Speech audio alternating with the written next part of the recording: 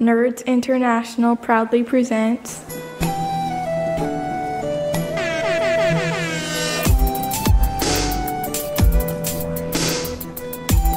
Coming at you live from the Rock and Roll Hall of Fame, it's me, Nick Lambslice. Me, James Pumpkin. And me, Harrison Hunt, aka Winston Brown.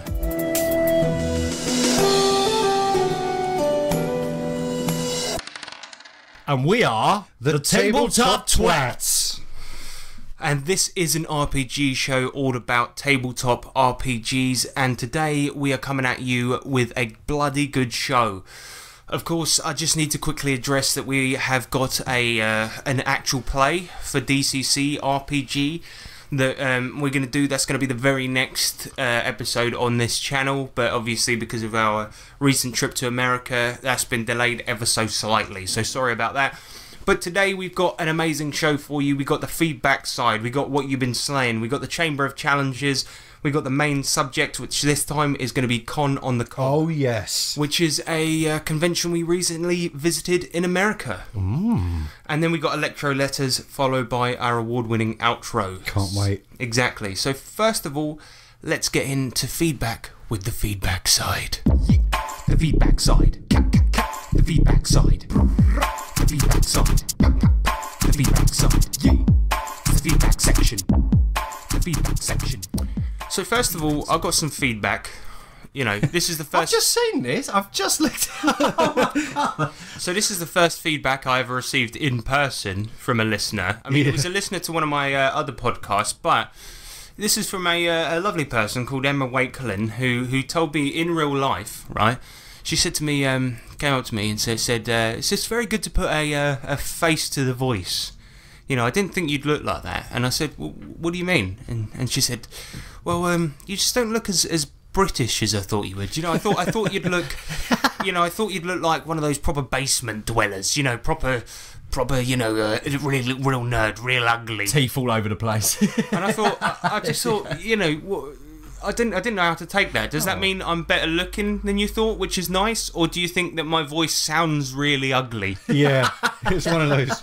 We don't know how to do it. Yeah, I don't know how to take. Sounds that one. really ugly. So, uh, yeah, thanks, Emma. but we got news for you. None of us are ugly. We're actually incredibly good looking. Yeah. Um, We're all this. This is this is a side career for us. We're all models.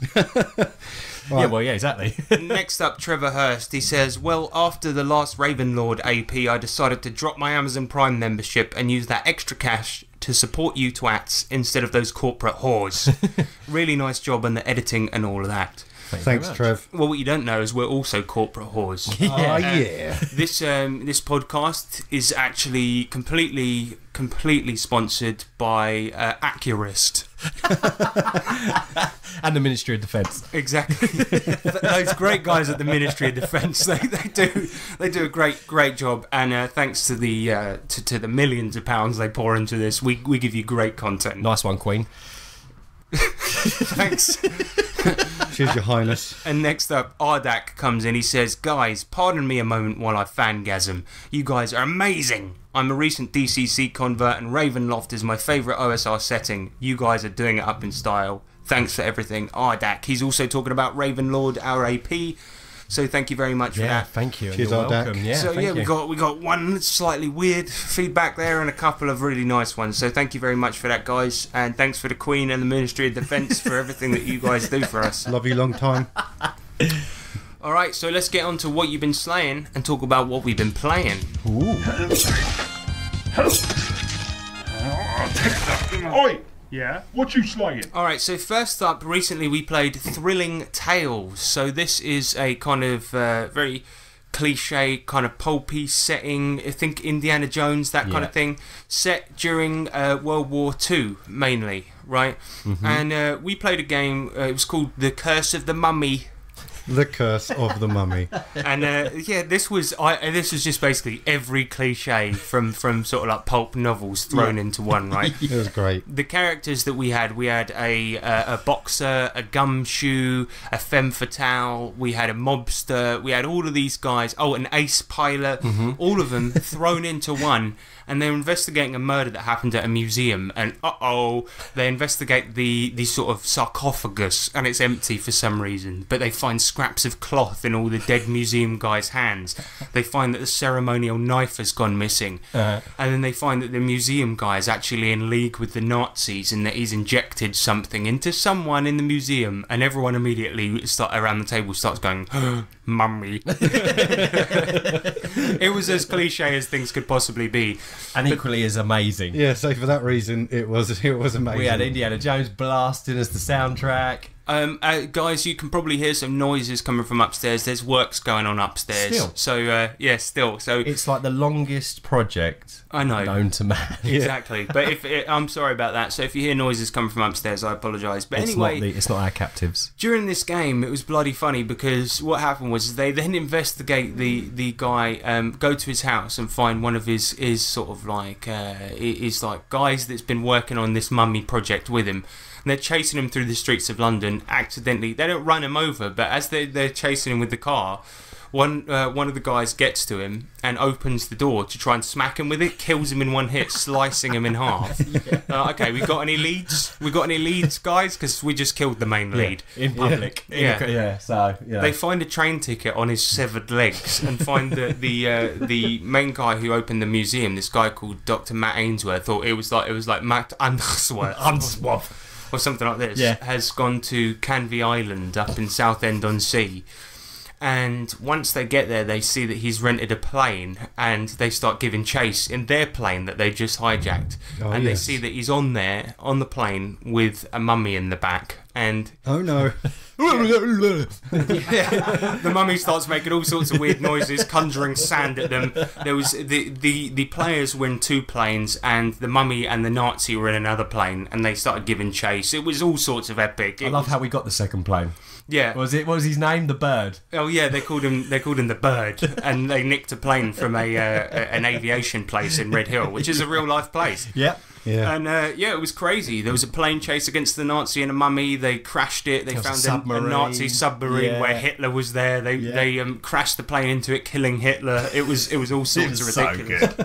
but this is a setting for Savage Worlds. Um, is Thrilling Tales, and it's great fun. It's it's silly, and I could imagine playing a campaign in it. Mm-hmm. Oh, because easy. Yeah. it would be so much fun. I, and as we said uh, during this, we want to jump back into it every so often, maybe like once every six months, and just play a one shot with the same characters. Yeah. Oh, yeah. And I Fun. said, I said to these guys, but you killed Hitler, and you were like, yeah, but Hitler would never just send send himself. It, sh- it should be either a clone or a mm-hmm. twin or something like this. Body Yeah. double. Yeah. or robot Hitler. Yeah. Yeah.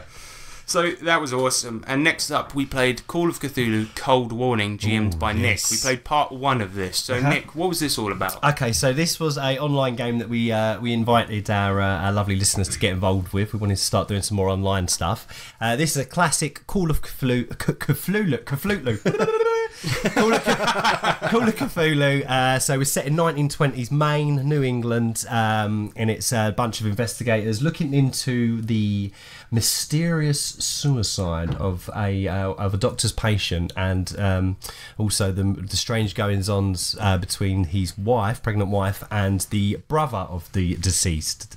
Um, yeah, so classic investigation. They've travelled all the way up to a like a skiing lodge up in the middle of nowhere, uh, trying to find this guy. Can't find him at the moment.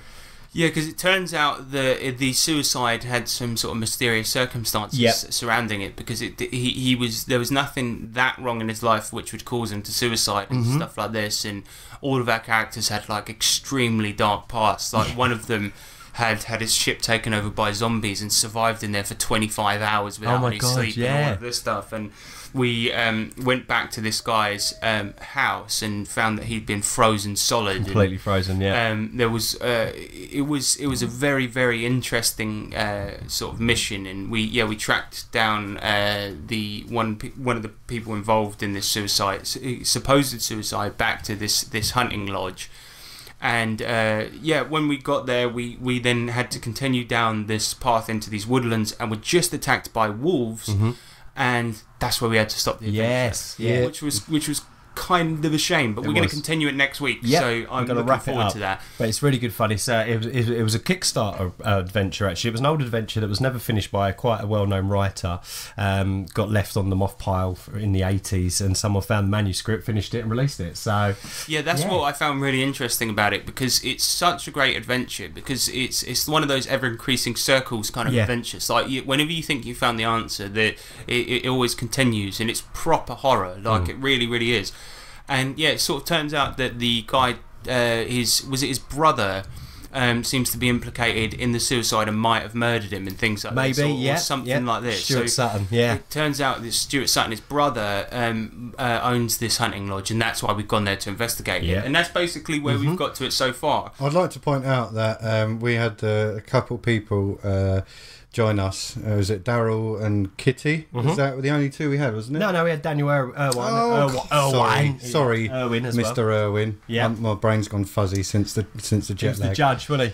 But it was um, it was Kitty's first time really in doing that properly, and, and apparently she had an absolute blast. And I tell you what, as a spectator to a newbie into that world, she was fantastic. Yeah, yeah, yeah. She Took it was in her stride, didn't she? Yeah, Yeah. Mm-hmm. such a great role player, and I absolutely enjoyed having her along. So, and it was great as well because it was Nick's first time GMing Call of Cthulhu. Yes, and it was. Yeah. Yeah. you were a long time fan of it, but Yeah, it was your absolutely. first time, and I think you did a great job Thank with all your NPCs and Oh, stuff like this. it. And I tell you So what, there was, what a, there was sorry. one point that was really funny because there was a recording that was on this guy's gramophone that Nick was supposed to play, but he had the recording on his phone, and it was really funny because the guy was trying to play it out of his phone, uh, out of his gramophone, and but Nick couldn't get the recording to play on his phone. He was like, "Bloody thing, I can't get it to work." And he was like, "Just a minute, just a minute. Oh, this bloody thing, it never works." And he just kept on trying and trying to get it to work, and it was so funny. But you did a cracking job Thank with you. with all of your NPCs. There was one bit where we were also trying to get buy medical kits. Oh, yeah. And this guy was like, um, "It's just a bit of duct tape in a box. You can have that for fifty dollars. But if you want a bit of duct tape in a box with some uh, with some antiseptic, that'll be fifty-one quid." yeah.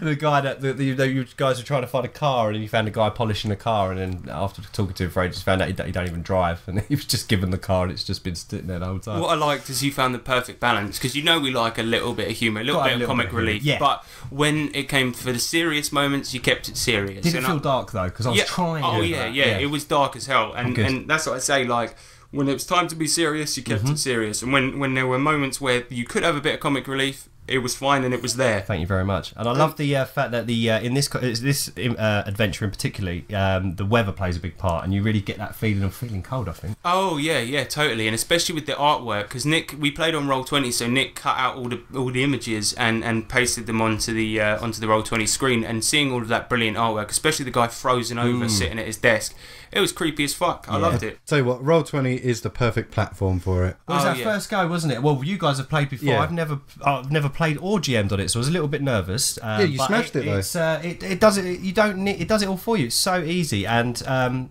yeah, it was a pleasure to play. I think it I worked think really well. I actually think it, that that Call of Cthulhu works better on it Yeah, in certain yeah, ways yeah. Mm-hmm. because because all the roles are so much easier on there. Yeah, because Yeah. it gives you the type of success, whether it's a, a hard success Or or, an extreme. Extreme success, yeah. Yeah, yeah, perfect. So yeah, if you can find a copy of Cold Warning, good luck to you. But um, but um, I would I would also just say pick it up if you can. Yeah, 'cause it's, definitely. it's really really It's very great. good fun. Um, next up, obviously on the what you've been saying segment, we like to talk about things that we bought, and this is going to be a longie because I've been at a, a con. Uh, I'll try and keep it short. I'm going to try and keep it concise. Um, but I've been at the con, and uh, I also had a package arrive while I was away at the con. Oh yes. So bloody finally, and I'm going to start a new segment on this called called um, called uh, good old pinnacle, right? And and uh, I'll do a little jingle for you. Good old pinnacle. And um, this is it. what I'm going to do here, right? Is I'm going to just uh, I'm going to hand you guys something, right? Oh So- no! So here we go, right? Right, close your eyes, close your eyes. Here we go. So Kickstarter, right? I kickstarted this over a year ago, and this is my this is my stretch goal that I got for this a year ago. Oh, of course. Look at these flimsy ass fucking bookmarks I got. damn bookmarks. Hey man, I only had to spend I only had to spend ninety quid to get these stretch goals, guys. Oh, Oh look, it's a picture of Flash Gordon and all of his compadres on the front, but on the back you've got some good old advertising. Thanks for that, Pinnacle. And then They should have. Ugh, they should, you should take a leaf out of DCC's book, right? Firstly, their bookmarks are free, but secondly, they've actually got mechanics on the back. And they're, yeah, they're, they've got character sheets. Yeah, why didn't they and just put and something their, on their bookmarks are thicker. Next up, right, here's what we got. We've got another stretch goal. Oh, here's go. the stretch goal. So these are cliffhanger cards, right? Well, guess how many you get? You get about five, and and not to mention they're thin as fuck. Oh my right? god, yeah. I Oh, mean, so, so once you've used those, you use them all five fucking times. The players will be bored of them, right? So, oh, brilliant! Oh, well done, Pinnacle. Aren't you the best? see, I tell you what, if they were of better quality, then they'd maybe be the slightest bit more worth it. Right, exactly. Slightest. Next up, um, for in, in uh, good old Pinnacle news, right? They've just announced they've they've hit 450, I think 450. half a million now. It was half a million. Half it was over million, half a million. half? Half a million dollars on their latest Savage Worlds Adventure Edition Kickstarter, Which we right? have backed. So they, what, what they've released in, Yeah. in that is is um, cards for vehicles, uh, items, weapons. Right? They've released them in PDF and JPEG. Only. Yep. Oh no, physical. No. No, no physical. You got I half a wanna mil. get pinnacle, pinnacle. Oh yeah. So um, that that is um, what I got for the, the. But I will say this: um, the books came and they are absolutely gorgeous. Oh. Um, Oh my god. So there you go, guys. Have a look, dig in, because these are beautiful books. Um, another thing I wanted to say, this is another sort of good old pinnacle moment, right? So I want you just to look down on on on this um, uh, GM screen, right? On the right hand side, on the bottom left, you'll see there is a, a uh, new or altered skill. What does it say there? Thiever. Yeah, so that's so Saturday Night Thiever you got there. So What the hell? Li- little, little spelling error there. So it's- replaces lockpicking and adds safe cracking, sleight of hand, Oh, it's a etc. typo. yeah, so it's supposed to be thievery. So that's good old pinnacle. Oh no. Who proof check? Oh, who proof check that? I don't know. Me. The book's incredible, though. I must say. The book's No, they're, they're amazing, and I'm, I'm really glad to have it. It's a very nice GM screen, if even if there is a typo on We're it. all just having a laugh. We're all just having a laugh. We're having a laugh, but um, I'm, yeah, I did jump on the uh, Savage yeah, Worlds Adventure I Edition. did. I went for the box as well. Me too. I'm looking Yeah. forward to it because it's going to be amazing. But that's it for Flash Gordon. It's a beautiful book. The It is a good artwork book. is amazing. Yeah. Hardback. Um, Very and nice. The new artwork's great, and the the artwork that they got from the comics is also uh, incredible. So Mm-hmm. I'm chuffed with that. Next up, I uh, as for what I got at Con on the Cob, they had some amazing booths there, and I will we'll get into that a bit later. But I got Mutant Crawl Classics: A Fallen Star for All. So this is a level one adventure. And I'll just give you the quick blurb. So, a meteor strike in the Taboo Crater country opens up a huge chasm or chasm in which lies a largely intact city for the ancient ones. The resulting land rush to go claim the newly available cache of ancient artifacts draws interested parties from all over Terra AD. So that's basically it.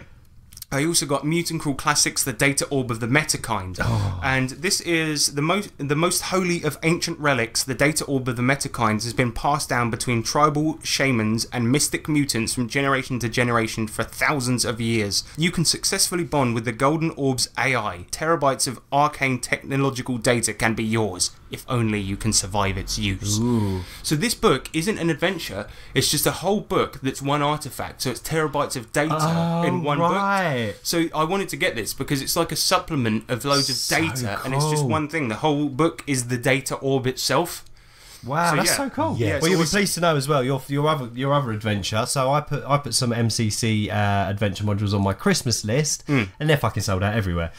Oh really? yeah, Oh my Oh, well, god. they had they had a bunch of not them even at- Leisure Games have got them. Ah, I should have got you some. Oh, Never man. mind. No, it doesn't matter. But yeah, um, I also because the convention is hosted by Andy Hopp, the writer of um, Low Life.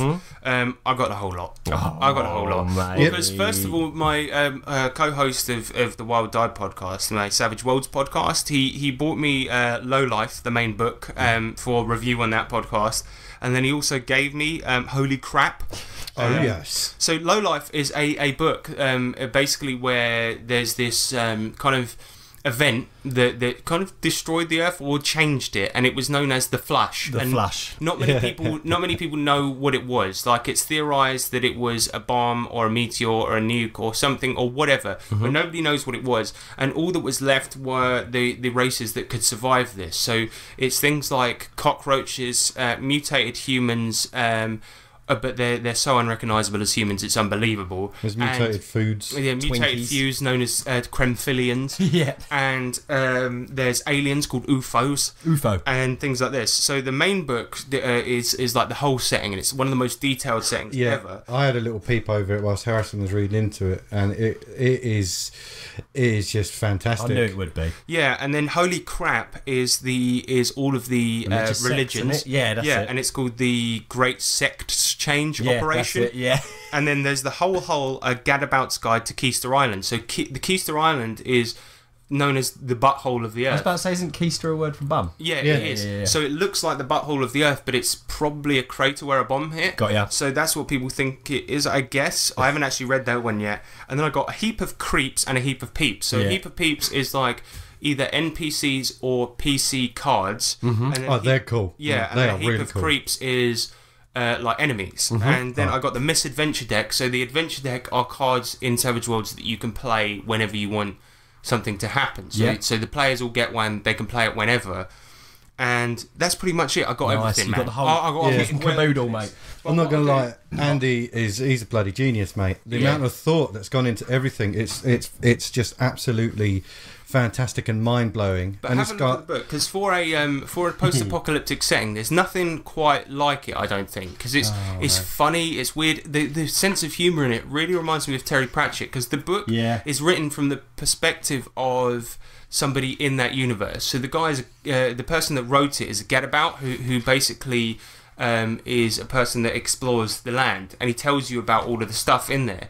So when he writes it, he writes it with a sense of humour and, and as a person that's explored everything. So cool. And Full colour art. Yeah, it's, yeah, it's, no surprise that the artwork. Who draws the art? Andy. Andy. Oh, Yeah. man. Yeah, And you know the funny thing about it is that that it's littered with sense of humor. So so in this in this setting, for example, um, nothing is measured in normal measurements. Um, everything's measured in yachts. And there's a map in the Keister I Island book bit. where where it says on the map the key to show you how far everything is. It says one yacht equals one yacht. it's it's like the perfect So cool. kind of humor where it's it's it's silly but it's not dumb. It's Yeah. not dumb. It's it's smart silly, man. Yeah, It's- it's- exactly. It's, It's, so Full well of thought out. It's so cool. Mm. and it's even got LARPing rules in there as well. Oh, that'd be fun, wouldn't it? The underwear. Yeah. Imagine trying to dress It's- up in that stuff. Well, what they call it is playing dirty. Ah, okay. Um, yeah, and in addition to that, I also got uh, Lamentations of the Flame Princess. Oh yes. This is an OSR game with incredible art. Uh, we'll talk about this a bit later. And an 18 rating. It's 18 rated, and it's got Oh, a lot badass. of um, a lot of titillating stuff in there, a lot of dirty Oh, stuff yeah. in there. But it's it's actually a very very good game as well. It's known as weird role playing, and it's it's weird OSR game. So, But how did you come across buying it? Well, I bought it off a mate actually. Exactly. Because So we, we played it, so Yeah. we'll, we'll get into Lamentations of the Flame Princess later. Okay, cool. So uh, because we actually played it, Nice. and the very last thing that I picked up was the Dungeon Crawl Classics Peril on the Purple Planet box set. This is the last box set that I don't own uh, for DCC, and I'll give you the brief for this one. So, this is the Purple Planet, where tribes of man beasts wage an endless war beneath the dying sun, where mighty death orms rule the wastes, befouled winds whistle through ancient crypts, and forests of fungi flourish in the weirdling light, where ancient technologies offer life or a quick death. And this box set comes with like three adventures to play Excellent. in in the Purple Planet setting. So yeah, awesome. And that's basically You it. got some what I serious got. loot. I know, crazy, crazy. loot. Harrison yeah. was carrying it all on this rucksack that he borrowed from his mum, um, and it was fuck me, it was heavy as shit. was man. so heavy. Books are so bloody heavy. It took me up to right up to my weight limit on my bag. So Just yeah. the books alone, I think, came up to almost seven kilos. Wow. yeah, crazy. Worth it though. Well, the thing about it is, is that over there, because they're not being shipped to England, and then that, that cost added on. Yep. It meant that uh, everything was so affordable Yeah, as well. yeah, yeah. So it was, Yeah. it was really, really good. I, I, I couldn't pass up the chance to buy stuff from the Goodman Games booth. We got to make low life no P. We so do. Oh, it's we gonna got to do it. It's going to happen. we got to do it because there, there are so many things in that setting that I, as I was reading it, I was thinking of you guys. You, Yeah. you can play a pimp, Oh. Yeah. and, and uh, Yes. you can get have take edges and things where you you're better at slapping women. oh no, trust me, it's I, good. I was just like, for this podcast, Yes. it's perfect. Not only that, oh yeah, no, it's it's just beautifully. Thank you, out. Andy. Yeah, thanks, Andy. And he Cheers, signed buddy. my book as That's well. amazing, So yeah, yeah. Per- perfect. Um, so uh, before we go on to the main subject, we're going to go into the Chamber of Challenges and I'll explain it once we're there. Come on in, let's go. Welcome to the Chamber of Challenges. Chamber of Challenges. The Chamber of Challenges. Chamber of Challenges.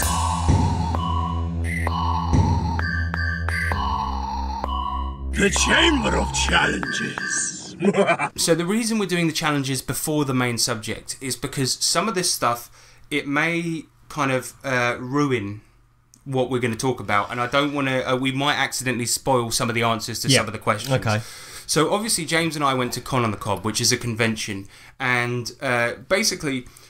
What I'm going to do is in this section for Dragon or Blagging, I'm going to ask you some questions about Con on the Cob, and you've got to answer these questions. And we'll get to, to what the meat of Con on the Cob is about, and we're going to talk about it properly. But before we do, Nick, these questions are all for you, and let's see if you can answer these, okay? Mm-hmm. So, Con on the Cob, being a convention, is host to many strange characters. But which one of these was a real person at the event? 1. A man who would paint elaborate portraits of the people at his table while he should be while he should have been concentrating on the game. 2. A man who would make chainmail armor while he should have been concentrating on the game. or 3. A man who would take loud phone calls to sex lines while he should have been concentrating on the game. Uh, I'm going to go for the portrait one. Answer A. Wrong. Oh, what the fuck? Go on. It was number 2. A man who would make Chainmail. chainmail armor while Yeah. he should have been concentrating on What, the game. just like on an anvil? And No, So, so what he of had is he had a big box of chain links, Yeah. and he would just sit there making chainmail while he should have been concentrating on the game. Chainmail underwear Was it noisy? mainly. Yeah, uh, it wasn't. I guess it was noisy, and this guy was very tall. And while he wasn't making chainmail, he would stand over people's desks Yeah, with his le- spectate. spectate with his legs astride, like he was the shit. Yeah, Oh. as if he was, you know, he was like, "Yes, I'm overseeing this, and this you're doing a good job." And I you go have noticed, well, I do have chainmail pants on. Yeah, it, it was dear. it was so weird. Wow, that's weird. And everyone just called him chainmail guy. Chainmail guy. I love his pajamas. He's like a full set of armour. He's like, "This is wildly uncomfortable. It's tearing my pubes out." Oh, why did he bring it with him though? No, that's what he does. I don't know. He sells it at every convention apparently, so he kind of makes it to order. yeah. While you're there. Yep. So why doesn't he just do it as a job and have a booth? I don't Yeah. fucking yeah. know. Oh my god. So, okay. whilst at the convention, there was an auction room where attendees could take their old stuff and auction it off to other people. Sadly, this room had little to no air conditioning. But which of these smells was the real smell of the room as described by James Clark, our co host? 1. A fart chamber. 2. BO mixed with week old garbage juice. 3. A really fat, sweaty woman. Or 4. The chemical toilets at a music festival. Oh, God, I'm gonna go for bo mixed with bin juice. Okay, you are wrong again. Ah, shit. what was it, James? It was three fat, smelly woman. Fat smelly women. That's yeah? all I could smell in there. Smell a lot of fat smelly women, yeah. Excuse me, love. No, it just no. It was just it smelled like um, uh, one unfortunate lady had festered in there for a week before we came in. It's very specific, though, isn't it? Was it? that in the auction, maybe? And you No, didn't it know? was the room. Yeah, yeah. Auction lot number 35. A fat, sweaty woman. I'll take her. yeah. Oh wow. So, no, so did you spend much time in there? We, we went in there twice, did. once to have a look and then once to do our final bids. And uh, and when we did our final bids, we had to queue up and this the, the smell, Oh, a woof, Wow. Yeah, man. woofters. It's palatable. Next time, light a, a scented candle. Yeah, do something. okay, during a night known by some as Really Bad Friday, where people got too drunk, an in game incident happened during a game of Fiasco that caused Gary McCallum to play an X card to stop this in game incident from happening. Which of these is the real incident? A. Someone had sex with a pig and put way too much effort into their depiction of it. 2. Someone dug Gary's character's corpse up to bring it back to their hotel room. Or 3. Someone was having sex with Gary's character after he'd had his head shot off. I think it's the pig one. Wrong again. Oh shit! It was. Somebody was having sex with Gary's character after he's had his head shot off. but bonus bonus thing, the pig thing did also happen. Yeah, yeah, It's- yeah. it's- that was just not why Gary played the X card. For Gary to pull an X card, of all people, Gary. That's what Yeah, we for those Oh, that don't wow. know, Gary is the host of the Murder Hobo show, and he he is he is a person with no limits. no, he's clinically insane. So the fact that he played an X card, yeah, so- Yeah, you so- must have really upset the man. he man got a bit of paper, scrawled an X on it, and held it up. He goes, "Nope, I'm doing it. I'm playing an X card." Wow. Congratulations, James. Before I ask this next question, I should state that all of the answers to this are completely untrue and are for comedy purposes only. but while at the con, I accidentally committed a massive crime. Which of these was the real crime? One, I accidentally sold alcohol to a minor because he looked 18, forgetting that the legal drinking age in America is 21. oh, yeah. Two, I accidentally smoked a rather large amount of weed, thinking I was being offered a cigarette, then was sick in a bin. Three, I stole a car. All of them. Ding, ding, ding. But we're You're gonna, right. you're going to have to pick one, Nick. Uh, We're I'm gonna have- going to go for the underage alcohol thing. you are correct, but also Yay. that answer is definitely not, Not true, true. and it didn't happen, and it's for comedy purpose only. But if it did, This yeah, is what uh, happened. it- this is what happened. Um, I was standing around just having a chat with some people, and these this guy came up to me. He looked 18, but Yeah. Mm-hmm. definitely didn't look 21, and he just went, "Hey, are those your beers on the table?" Um, can I give you five bucks for three of them? And I went, yeah, fine. And he just gave me a fiver, and then and then he just took three beers out. And then Gary came, came up to me, if this did happen, which it didn't. And then and then he went, hey buddy, you just just sold beer to a minor. And I was just like, oh fuck yeah, the, the, the legal drinking age here is twenty one, but it didn't happen. But that didn't happen, Yeah. so Yeah. don't worry about it. So we went into Fantasyland there, and Brilliant. It's all part of the game. Yeah, because that's just a fake question that didn't happen. Didn't happen at all. And one, last question. Yes. One guy at the con who consistently wore nothing but pajama bottoms and a Harry Potter bathrobe asked us to go into his hotel room and perform an act. What was that act? One, kill a bug. Two, spank his bare bottom. Three, clean his room. Four, call his wife a cunt. Swat a bug. it was number four. it was number Call four. his wife a cunt. And it- I did it. James- Was she in there? Yeah. Yeah. He said, he said, I just want y'all to g- get in my hotel room, and because you're British, right? And I just want you to um, just call everyone in there a cunt.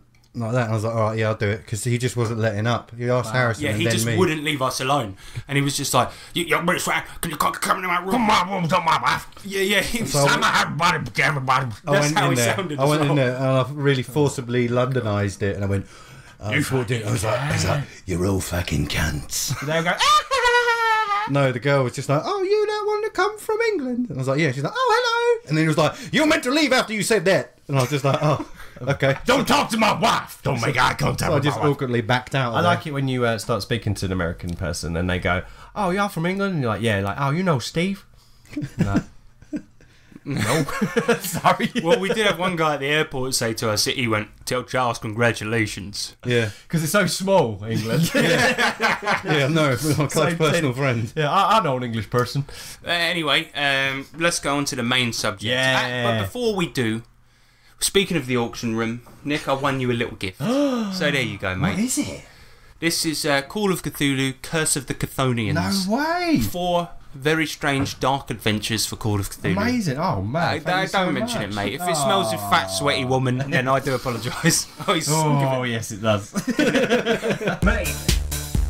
Subject. Main. Subject. Sorry. Con on the Cob. This is a uh, event hosted and created by Andy Hopp, the creator of Low Life, little genius, looks exactly like Danny DeVito, Yeah, no, it's no lie. He does, and he knows it. and it's been running.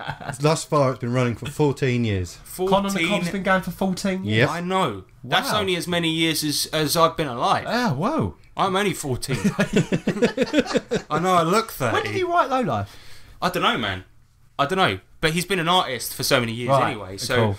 the event, the premise of it is a celebration of games, art, freaks, and fun. And the venue was the Days Inn and Suites in Richfield, Ohio. And let's talk about what what each of these refers to. So the games, art, freaks, and fun. So the games, it's basically role playing games, board games, LARPs, anything that you could possibly imagine in terms of nerd culture. Those are the games that are going to be played. Mm-hmm. You know, Yeah, so not video games. not No really- video Well, games. actually, we did play a bit of Sonic the Hedgehog there. Yeah, but that Oh, was just us. That was just us. Okay. Yeah. And you gotta play some Sonic. Every time we played it, somebody would come over and be like, "You- "You're playing Sonic." And then we were like, okay, we'll turn it off. Because, because we wanted That you know, Sonic I can hear. It was only because we were uh, just trying to keep ourselves occupied and then we didn't want to be rude. So we're just like, okay, we'll just turn it off now. Hey, But then the art that refers to uh, the there was art for sale, and you could also see Andy Hopp's artwork everywhere. Yeah, there's also Sculptures, like there? yeah, there's- sculptures. there's yeah. miniature painting Uh, oh and right. stuff like that. Yeah, and there had banners everywhere with artwork. They had people's artwork for sale. That was awesome. The fun that refers to there was uh, drunkenness. For example, they had things like uh, nights where there was like a, a night called a fairy drinking party or something like Oh, this. God. And upstairs, all they had was just it was free booze. Um, where you could just go up, get cocktails, things like this, and everyone was just invited just to gather up and have a good old drunken night. Lovely. There were games such as board games, so that's fun, and fun of all types encouraged. Don't matter what you're doing, just have some fun. Have they some also fun, had yeah. mini golf as well. Yeah, Oh. that's brilliant. That is. Yes. Yeah, and uh, they had karaoke, which was karaoke, and 2D6, a nerd uh, nerdcore um, hip hop band were playing, and of course Andy Hopp hosted a night where he played a game called Gazoink, which is a drinking card game that he Yeah, made. Brand new one as well, isn't it? Yeah, yeah, and he was he, he, he came to us on on the, one of the first nights and was like, "Hey guys, I'm playing some Gazoink upstairs. If you want to join." And I'm like, "What the fuck is that?" But yeah, I really wanted to go, but we didn't We get did the chance. we did actually hop along, but the table was fully crammed, so we were just Oh, like, "Hey, how's it going? Hey, nice to see you. Okay, bye." They all just went zoink. yeah, What uh, can can Andy handle his liquor? I, I'd assume so. Well, he arrived. He came over to me on the Friday, um, which is the as as we mentioned earlier, the bad bad Friday. Um, and yeah, I was kind of feeding him a few shots of whiskey, so I think so. Yeah. Yeah, good, good lad. Lastly, the freaks. This Yeah. refers to basically ev- everyone is welcome. It don't matter what walk of life you come from.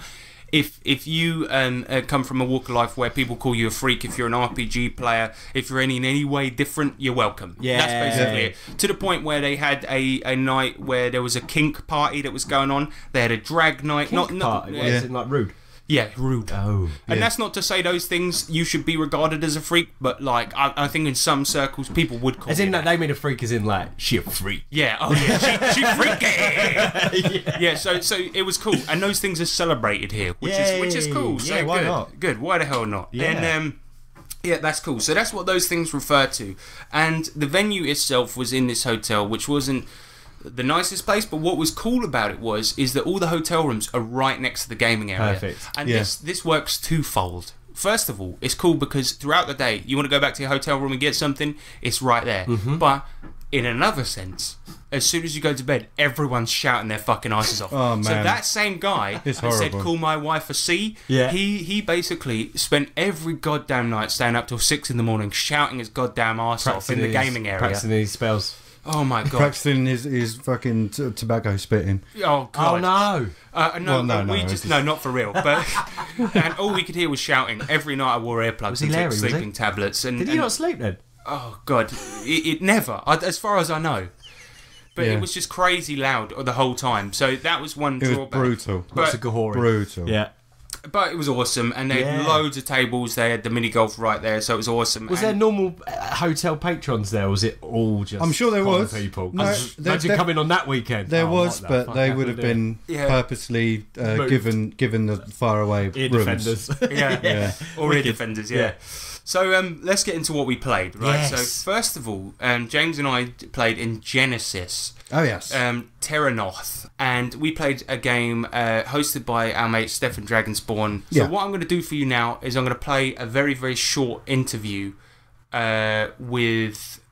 Uh, Gary McCallum, Mm-hmm. because he was a first-time Genesys player a- as well, Yeah. and Yeah, so I we- think it would be nice to get his perspective on it. So yeah, here I go. Shit. So this is a narrative storytelling game. It's not an RPG, but this is dices with symbols on and dices. And uh, yeah, this is based on the old Star Wars Edge of the Empire system, all of this stuff, and it's basically got all of these fucking weird dice with symbols on them.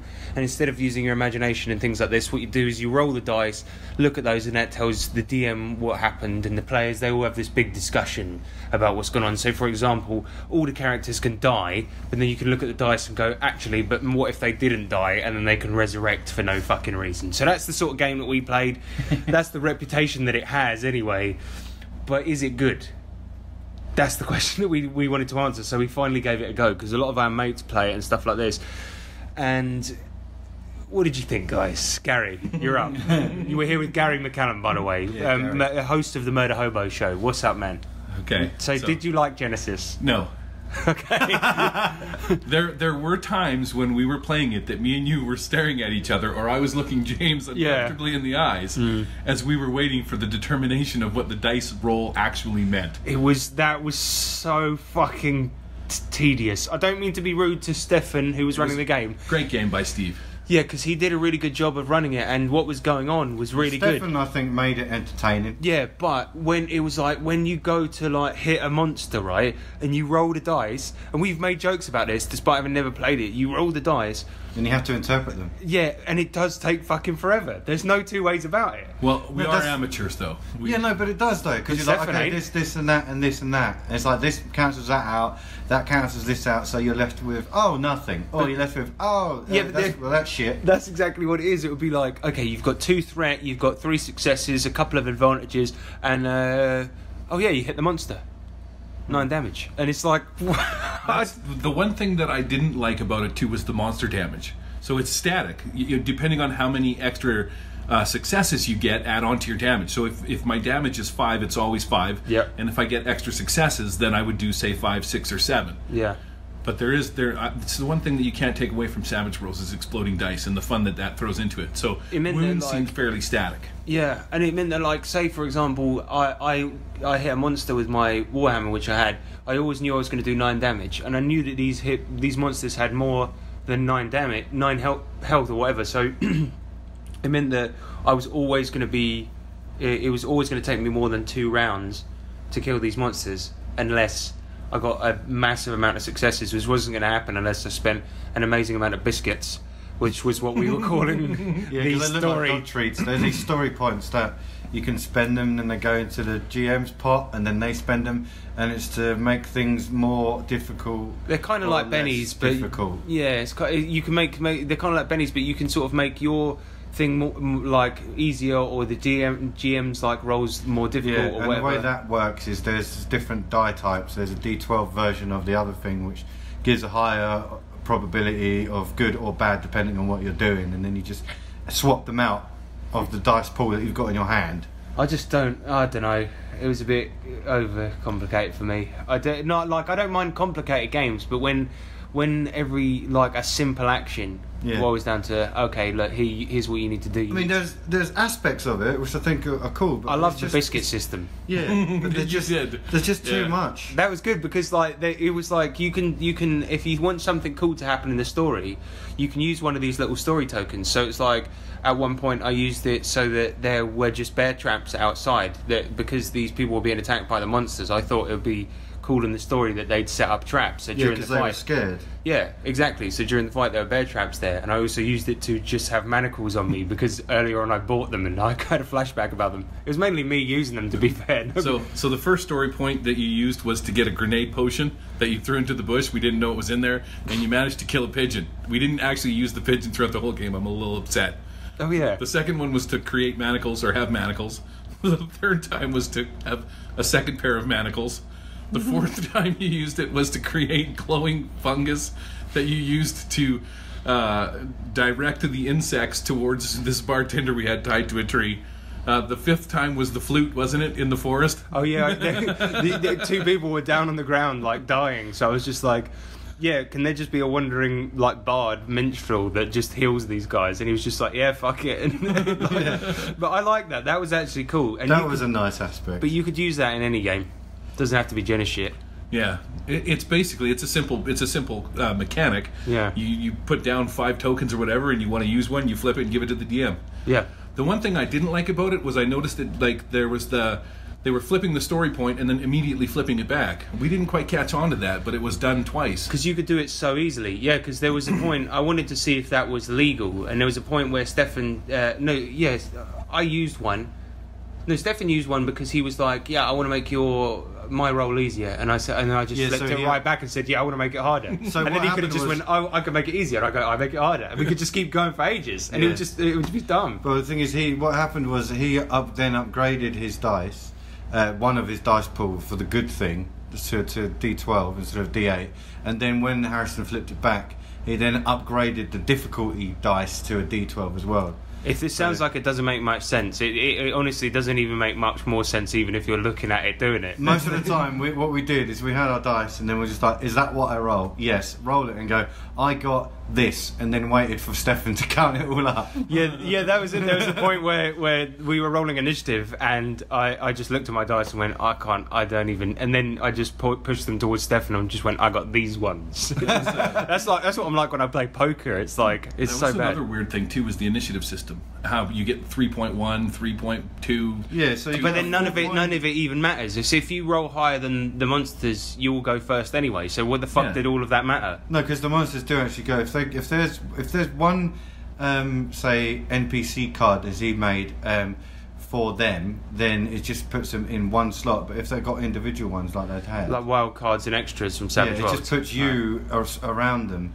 But it just meant that anyone could go at any Yeah. player turn's turn. Yeah, so it should be separated into. Oh, okay, okay, yeah, I kind of so get if it. there's if there's four monsters and one one or sorry if there's four players and one monster we all roll initiative even the monster rolls initiative and they're all equal to a certain score but one of them is equal to the monsters and that's where they fit into sort of the the turn slot but it, it doesn't mean if doesn't matter what you roll you can go first or last because you choose when you want to go Yeah. Okay. well, anyway, I, I thought it was a fun game. I just uh, like a fun session. I just didn't necessarily enjoy the mechanics of the game. I don't. It's not for me. If, if when simple actions take too long, swinging a sword at somebody should be like that. It's not like Yeah. it, it, shouldn't take ages because you're swinging a fucking sword at somebody. I'm sure, right? I'm, I'm sure if you actually enjoyed it originally, right, and then you actually got to learning it, it would you you'd, enter, you'd it would entertain you and you'd enjoy it. But I mean, it's just it's yeah, it's a bit overcomplicated. If you could read those dice as quickly as you could read, say, a word written down on a bit of paper, I'm sure it'd be really, really good. But I, I, I think it would take too long and it ain't worth it. it's, Because it's even worse with a hangover. I don't. I think even the pros were still taking their taking more time than it should have. Um, you know, the one shit part about it too that I don't like is I'm not into overly complicated mechanical systems. There's a lot of things on that character sheet that don't need to be on there, and I'm not like how they break everything down into different subsections, skills. And you got your other things in your character sheets, and then depending on what slot you've got ranks and stuff in, it's like holy crap, man! Does it does a game really need for for a game that's supposed to be narrative, which it means it's a storytelling game. There's a lot more time. There's we spent a lot of mechanics We in it. spent a lot more time trying to figure out the mechanics than we did actually like telling a story. That was game game one of the weekend. oh, oh, that was oh, Oh, Gaza. Oh, what? a- oh, what? Oh, oh, wow. What an interview. well, shut up though, because um, next up we played Lamentations of the Flame Princess, Nick, and I Yeah. think you would really, really, really like this. Yeah. Man, I'll tell you what, it was fucking badass. It was GM'd by none other than uh, Matt Stark, Mr. Stark. Frog Dick. from You Dick can- himself. Exactly. You can hear a lot of hammering going on upstairs, guys. But yeah, this is weird role playing. So this is OSR stuff. Anyone who knows this will be very familiar with it. The only real difference is, is that skills are done on a D6. Um, and you have dots in a D6, and all it is is that if you have one dot, you have to roll a one. 2 dots, you have to roll a two. Simple Yeah, as. or under. Yeah. Okay. Yeah. Um, so that's pretty much it. And uh, we the characters are all very weird. So so they they it's like uh, set in our world, I think, because we had to go to France to do, Yeah. do our mission. yeah, it's, it's, yeah, set in, it's set in the real, real-ish world. Yeah, and so we had uh, like characters. My guy was basically a walking bag of disease. You didn't know what gender he was or how old th- they were, basically. And he was just a disease bag warlock. For example, even his healing spell utilized flies. yeah, and I was like uh, this this grotesque looking kind of almost cave womany sort of Yeah, you were a woman. hag. Yeah, and, but I had this weird uh, thing which meant that uh, at inopportune moments um, I would either turn gigantic or go just a normal human size, and I started off the game as, uh, like gigantic. And Eric was a slug. Oh yeah, I Yeah. saw the video. Yeah. yeah, and then the other guy that we were playing with, Todd, he was just a human. Oh, so, so he was the only normal one in the party. and he role played it really well. Yeah, he, he kind of t- uh, he turned up at, Drug with at- you guys. He turned up at our table and then just kind of said, you know, what are you doing? Are you about to do a game? And basically, he just joined it, which Fair is cool. We had more players, and good uh, we for think yeah, she did do such a great job. Yeah, well yeah. played it spectacularly because every time we did something and we just started, we were playing our characters because it was like a disease bag, a hag, and a slug. and then this guy. And a was guy. yeah, and then the guy was just like, you guys are always getting into trouble, man. And he was just, he was Oh hating it. God. Like, not not the character, and not the player, but the character, character, was just yeah. like Yeah, yeah. hating it. I And love was it. So funny. Sounds whacked out. But the cool thing about the adventure was we played an adventure called Blood in the Chocolate, and it was basically Willy Wonka, Yeah. but really fucked up. And Oh, so- trust me, it was fucked up. There was there was uh, there was a point in it when M- Matt said that um, all of the what they called the beans. Uh, they were the Oompa Loompas, weren't Yeah. they? Yeah, but they, they're not Oompa Loompas. But they they're- had bean chocolate beans for heads, and they were called pygmies in there. That's it. Right. But he they- said all the pygmies were having a mass orgy. And, and the Oh. way it was written in the book is you walk into all the pygmies fucking. That's how it said it in the book. yeah, and then we went. I went. I went. Matt, are you? Did you write this? Uh, Was that? Is that actually how it's written? He goes, "Yep." And it was That's just like, what it wow. says. But yeah, there was a point where we, uh, it- it- somebody, Todd's character Wilhelm, he ate uh, the blueberries and swelled up to a massive size, and just we just Yeah. started rolling him along, and then to try and fit him through doors, we constantly had to like barge him up against the wall to try and Yeah, make squeeze him small- out. squeeze Wicked. him out, and get all the blueberry out of him, and then all of us got covered in it, and we called it blue khaki, and it was like. Oh, no. It was, it was just it just got and this really was messed Matt's up. game. Matt brought this to the Yeah, table. Oh, Matt yeah. Because Matt, Matt strikes me as quite a reserved guy. Well, this is an, an adventure he bought, but yeah, he Wicked, well he, done. he had a great time with Yeah. it. Awesome. But the whole adventure was to recover several things, like we had to get chocolate beans, the secret recipe, all of this kind of stuff. And anyway, we got right to the end of the adventure and we found this big chest in the room of the woman that owned the chocolate factory. I love this. And we were like, "Oh shit, it's here!" I lockpicked it. Right, I had a one in six chance to lockpick it, Yeah. and I fucking did it. Oh. and, and, But- and then as I did it, and Matt's like. Yeah, um, a big thing is sulfuric acid burns the thing. There was obviously a trap to stop anyone uh, Oh. getting the recipe, and we were like, "Are you fucking serious?" And he's like, "It says it in the adventure," and we were like, "Oh Come on, Matt! And- but then there were four thousand gold bars in the thing, so we just Yeah. immediately put them in the pockets. James turned massive. We all jumped on his back, and he just hopped over the walls, and we ran away. I walked away. But Matt's, Oh, yeah, Matt's yeah. an immense GM. He was so good, and and he one of the things that kept coming up was that you have an open doors role in this game, and, and we but- but it's uh, like so every time I went up to a door, if you just describe you opening a door well enough, you can just do it. Yeah. But the thing is, is that I kept on going. I kicked the door down. He went, you kicked the door, and you just hurt your foot. And I Oh, went, okay, no. fine. I go up, I turn the handle, and he's like, fine, the door opens. Door opens. so, and so we kept on describing us opening doors like Brilliant. really It massively. was funny. And It so was really. Lamentations you'd play again? Oh, oh, 100%. That's Yeah. why I bought it because I knew you guys would love it. Love it. Yeah. The characters alone make it. It, it doesn't Sounds matter what cracking. type of game you'd be playing, if it's Just Dungeon putting them people into it. But yeah, you would absolutely love it, Nick. Um, so yeah, we'll, we'll definitely be playing that soon. Next up, we played a game of ICRPG in the evening. Um, basically, uh, Gary McCallum, who's the host of the Murder Hobo show, um, he. He, he also hosts another show called uh, Threats, Treats, and Timers, which is all about ICRPG. And of course, we wanted the opportunity to play ICRPG with Yeah. him. He brought all of his stuff with him, had no games planned, and so we bullied him into playing ICR, Yeah, uh, 'cause running ICRPG for He us. didn't want to play. Uh, he didn't want to play it, but he brought his stuff just, in, Just in case. case, good and we were like on the uh, Thursday evening, and we were just like, Gary, come on, you got your stuff, just bring it out. Yeah. So Yeah. after we all ate pizza and we were all feeling a bit tired, we bullied him into, into running it. And then literally after one encounter, we all got so excited, we all started taking selfies at the table, and then and then all of us were just like so distracted. And then I said to James, I was like, James, right, lay across the table. I want to take a picture of you laying across the table. Yeah, so. And then um, and then he did it, and then Gary got fed up and went to bed. Oh. So he played one encounter of ICRPG. What? And then he pulled the plug. yeah. Yeah, we all actually sat there and rolled up all of our characters first as well. Now apologise to Gary. And I said to him, sorry, Sorry, Gary. Gary. and I said to him afterwards, I was like, Gary, why did you pull the plug? And he went, table surfing Asians. That's what happened. what was I supposed to do? Yeah, fair enough.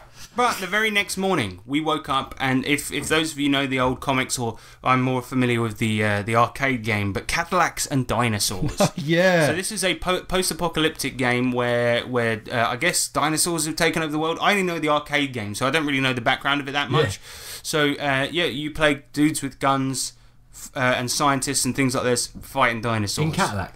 Uh, yeah. Yeah. and because it's uh, all, all the old fifties technology, I guess. You, Sign you- me up. You, So yeah, I think I think what it was is that basically another meteor strike happened, but then there was a few human survivors, but dinosaurs came back. Different timeline. Yeah, I got Yeah. As far as I know, I can't really remember it, uh, like the, the backstory that much. But what I do fun. know Yeah. was Cadillacs and dinosaurs. Yeah. So it was fucking cool.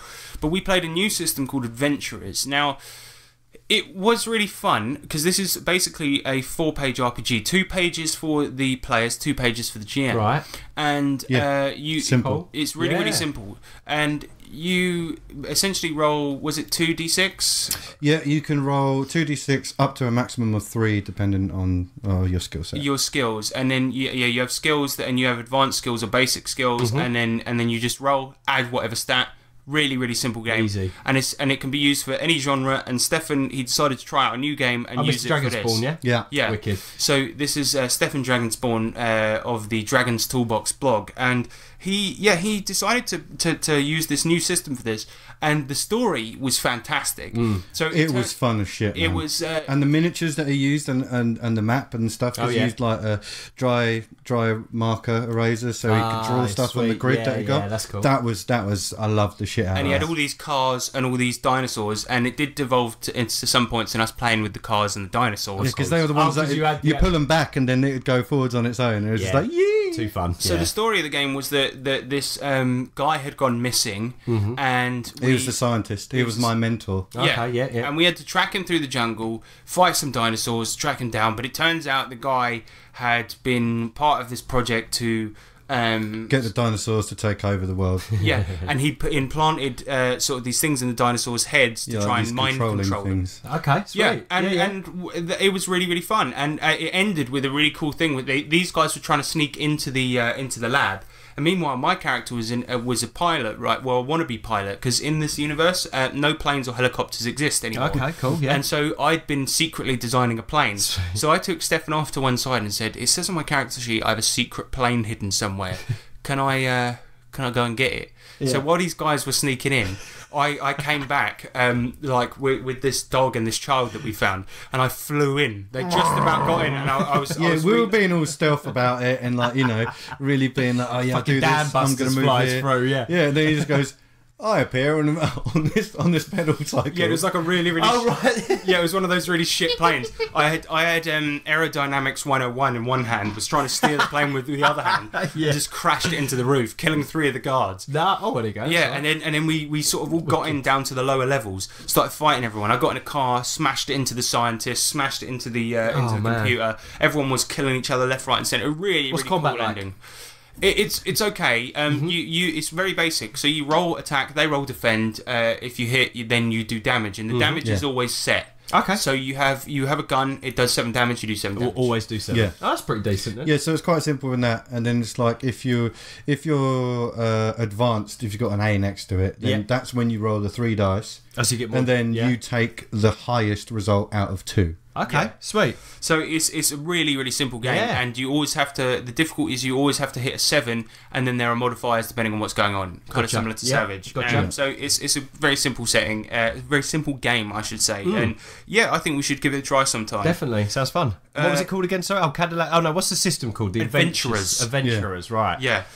Um, and next up, I played Dungeon Crawl Classics: The Chained Coffin. Now we've spoken about Dungeon Crawl Classics a lot on this uh, podcast, and obviously, um, it's an OSR game, crazy, lot of randomness involved. But um, obviously, I played it with two first timers, with Gary and Eric. So yeah, yeah. Uh, I've got another interview for you guys. So let's go. Because this adventure, basically, we talked about it a little bit on our podcast before. It's all about getting this guy who's in a coffin. He's a priest that's been put there against his will because his old mate, who used to be a priest, is now on the side of chaos. And he now wants to get all these powers, become a big chaos lord. And this guy who's been imprisoned in a in a fucking coffin wants to stop him. And he beseeches the help of all of these fucking adventurers, which is the party, and gets them to stop him. And they need to tr- trudge around these mountains and find I know, we just played it. yeah, so you well, you well you played it, but the audience didn't play it, you motherfucker. Well, fuck them. So uh, this is basically the adventure. But you played DCC. It's crazy. It's an OSR game. It's got loads of weird dice. What did you guys think of it, Gary? We'll start with you. I think you guys are very pretty. Oh, thanks. Talk about the game, Gary. Oh, sorry. We're alone in a hotel room right now. Just just saying. Yeah, but us three are alone in a hotel room Uh, every the night. game itself could have used story points, and it could have used some friend advantage. Okay, so let me let me just say this right. Throughout the fucking game, Gary kept trying to use a mechanic from Genesys, a game that he fucking hates, and kept on he kept on flipping over this dumbass token that he had, and he'd go, "I want to use the story points of a flashback, so I know this mountain off by heart." And uh, yeah, so so It would have I made the story more interesting, wouldn't it? Not at all. Okay. No, it would have made it more fucking annoying because you would have just meted the whole fucking game. That's what you were trying to do. You were just like, so I know this mountain like the back of my hand because I came here when I was nine years old. That's your voice, by the way. Thank you. I mm. appreciate that. It kind of a little bit resembled. Do you me. want to just try to talk about the game? Just try So- and do one thing. He's Okay. drunk. What do you want? Yeah, I know. I'm trying. He's been drinking whiskey all day. Just for What are we Christ. talking about? DCC, you stupid prick. Sorry, I got lost in your eyes, Harrison. I can't stand this. This is this is going to be really unlistenable. Right. Talk about the game. DCC, top notch. It was very fun. Loved it. you want me to compare it to something else? Compared to Genesys? No, just talk about it. Say what you liked What about feelings? it. What What, did what did you you like? What did you dislike about it? Bitch. Um, well, wow. Why are you gotta be so mean to me? because you're infuriating, Lee Handsome. So I really liked the story point idea behind the whole game. That was pretty. Okay, I'm going to fucking move on. Eric, Eric, how about you, Give man? us some fucking gold, please. So Eric, you you're you're an old guy. You're very old, right? So you you played the old school games, and this is an OSR game. What did you think of this? What did you like? What did you dislike? Oh, the art reminded me of yeah the old modules I used to play. I like the the handouts. I like that. I like uh, yeah the feel. It's an old school feel. Uh, system's easy. You just just roll a dice, move along. Uh, the only thing you know, it's like last year I bought those nice DCC dice and I didn't get to use any of them. So, So yeah. I want my fucking money back. So what Eric is talking about here is that in this adventure, it was a pretty cool one because it had loads of handouts that you get to give to the players. So when you see the big monsters, you go into certain areas of the dungeons, things like this. You have like printouts and things that you get to show the players. Um, but Eric also played a thief, and a lot of classes get to use things like the D7, the D 16, the 22. the D seventeen point five, all of this stuff. But Eric played the thief, and he didn't get to use any of the funky dice that he bought. What a shit game. Gary, you've said Sorry, that about everything you've played at this con. Even ICRPG that you ran. Yeah, you What a just great game. Yeah, Yeah, you ran you ran one one room of that dungeon uh, that you played And in then what ICRPG. Uh, oh, then what happened? Yeah, You pushed it out and went to bed. that's right. Well, no, You what- left all your shit out there and we had to pick up after That's you. what I got you guys here for. Uh, really, what happened is I got fucking drunk and somebody started table surfing. I was busy looking at James Butt. We on on this podcast we try to champion DCC as much as we can, and all I wanted to do was get you guys in here and say some nice stuff about the game, and you've just talked a bunch of shit. So fuck the both I of tell you. you, I, okay, if you want me to say some nice things about the game, I will say this: it was way fucking funner than Genesys. You know what the weird part is? I don't know how to play. I don't know how to play DCC, and I don't really know how to play Genesys. But when I sat down at that fucking Genesys table compared to this table, I actually had a kind of feeling like I knew what I was doing. Right? Okay. Okay, that's something. this is coming from Gary, who's fucking like just Wow. just a one system guy now. Right? Well, what I liked about uh, There was no tricks. Yeah, what I liked about explaining the DCC to to people was um, when you start off, you say, "Hey, you know to, how to play D and D, right?" Well, it's like this, but here's the few differences, and that's it. And I, I like that, and it was really fun just explaining it to people, and then the, the slight few mechanics. Although nobody burned any luck or anything, but nonetheless, yeah, I, I enjoyed playing with you guys. Well, I was kind of curious to know why or what advantage I was getting from you putting your wiener in my mouth. Look, that part of it, that was when we were on a break, Gary. Yeah, that was secret shot. Ah, man. we told you not to mention that. I thought I was going to get an extra D6 out of the No, deal. I mean, wh- where I'm coming Extra from D. is, yeah, like I you just said, got uh, extra D. I, I've, I've been gaming for a long time, and so the the old school stuff for me, Gary's just laughing now. like the, Jack, Eric tried to explain it, the, please. the- did you fart? No, I, got, I didn't get an extra D6. I just got extra D. okay, Eric, please. So yeah, it, it feels feels very old school, but like with with more fun spin, like the Sweet. like the little fumble things and the crits, and I mean it's a little bit not it's not very intuitive in some ways for some things that you you go across and you look that and you add that and I but yeah, I'd agree with you there. So sometimes the character sheets can be um, difficult to read for new players. I think Yeah. as well, and I, I've experienced that even for older players. Like I've been playing it for ages with fucking Nick, and he never knows how to read. yeah, and- Uh, for, for, Plus, you told me that Mine the Thief is one of the easiest ones, so I must be pretty dumb. You're pretty retarded. No, no, it's I, I, I don't even think it's that. I, I genuinely believe that like that game. Sometimes the character sheets are, they're laid out in a way that's as intuitive as possible, but there's a few stats. They've they've gotten rid of things like skills and stuff like that, but it's still just there's the slight amount of crunch that just makes it that little bit more difficult for new players. Yeah, and it just it's a shame. feels like, uh, depending on the class you play, it, it's like the rules are different for each. that class. that is my one problem with the game, and I I, I, it's I not streamlined. That if you play once with one class, you play another one. It's kind of the same. But No, I- one thing out is that uh, we haven't done this before in one shot. Is that we started at level five, and in our gaming sessions, we've only just played that. We've only just got to that, and we've done DCC for a while in other areas. Yeah. So usually when it's new players, it's level zero, it's a funnel, or level one. Yeah, so you see, the thing is, with new players, you st- you start at level zero and you have a very mm. basic character sheet. Then, when you level up to level one, you get you get your abilities, and as a result, you know how to read the character sheet because it, it's just very Yeah. very minor Like, changes. You, learn as you advance. Yeah, exactly. So that's why it feels that way. Um, for most new players, uh, starting at level five wouldn't be the norm. But I wanted to give you guys something that was slightly more survivable because Yeah, usually at level one, fucking big. one final thing I wanted to say was I remember when I first started playing DCC, Eric, you were saying that you would. Uh, I, I was telling you about, it and you were like, "No, I'm fucking done with Rolemaster, man. I'm done with all those fucking Yeah, tables. tables. But Well, it, I went like maybe eight pages into the book, and there was like twelve tables already. So I'm like, but it no. doesn't. It doesn't actually hamper the gameplay at all. You don't use them that often. Right, but it's not fun to read. That's what I'm saying. Yeah, That's no, why I it- quit reading it. I, I I'll give you that. I'll give you that. So when you go to a restaurant and order off the menu, do you get like the first page? You're like, this looks like a table, and then you just put it down. Yeah, And he's just like, "Give me a sandwich." That's right. I'm Have gonna a soup. starve. That's just like you go to Wendy's and you go to order, and Yeah, you the see girl that- just leaves. Then Yeah. no, I'm not gonna eat. you just look at the combo menu. You're like, this is bullshit. if if Eric had his way, restaurants would serve water and bread. Yep. All right. Maybe well, like- thanks, guys. a little bit of cheese. Wait, I've got a question uh, just at the end. Would you, one, play DCC again, and two, recommend it to a friend? oh, absolutely. I had a blast, man. You're a fantastic dungeon master, Harrison. Yeah, yeah. the- That was the- so the much N- fun, dude. NPCs, they were. Oh, thanks, Awesome. man. I appreciate we were appreciate literally waiting for upset tub of jelly. Oh yeah. then it happened, and it was like a milestone in my life. It was a, a bucket list moment. I was wondering if every anyone session. ever actually noticed me saying that. it's, it's every session, even in, in our weekly games. Yeah. Upset tub of jelly. I'm like, there it is. Mission complete. My, my my money was well paid for coming here. All right. Well, I I'd, I'd play it again, and uh, Mm-hmm. people should play it too if they like old school or just fantasy and It definitely had crazy an old school stuff. feel to it, Yeah, man. I really like just that. play that. Roll your It's d20, cheap, figure too. out I your stuff. Got what the big Nobody cares right what you got. Big ass book for twenty five dollars. Essentially. yeah, you you have, Four hundred and fifty pages. yeah, you- it's so worth the money. So yeah, everyone check it out and uh, Table.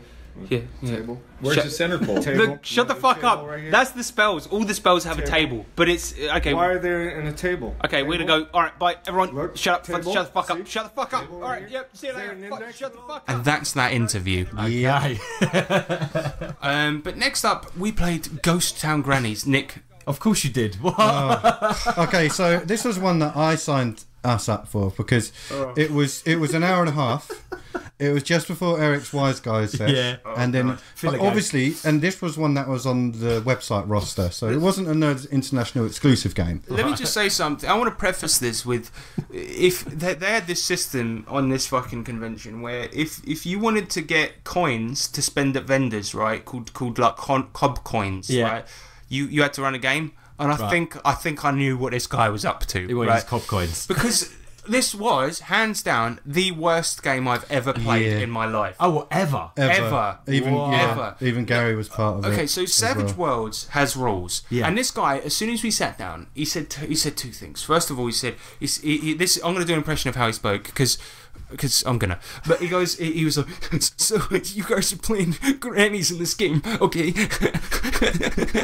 and and of course, grannies say a lot of racist things, and, and you guys are gonna say racist stuff. And all this time, he kept on glancing over at James because obviously James is Asian, and he was like, so if you say a lot of racist stuff, you know that's okay. It ain't racist. People always say to me, "You're racist, man." I ain't racist. It's the grannies.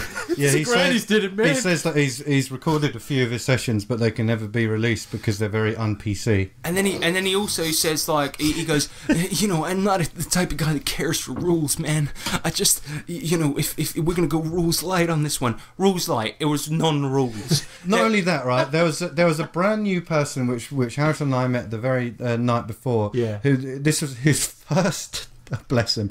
This is his first taste of Savage Worlds. And oh, the the guy- guy, it was savage, under it all, it was savage, right? Yeah, Yeah, and got he ya. didn't use a single rule. The only Wow. rule he used was cards for initiative, and even that That's he it. fucked up. Yeah. Because there was a point, right? Okay, so let's get into the plot. The plot was this: a bunch of grannies break down On a bus. on a bus, and they have to go and find gas. And Yeah. for some reason, this redneck in in, in, in the game tells us.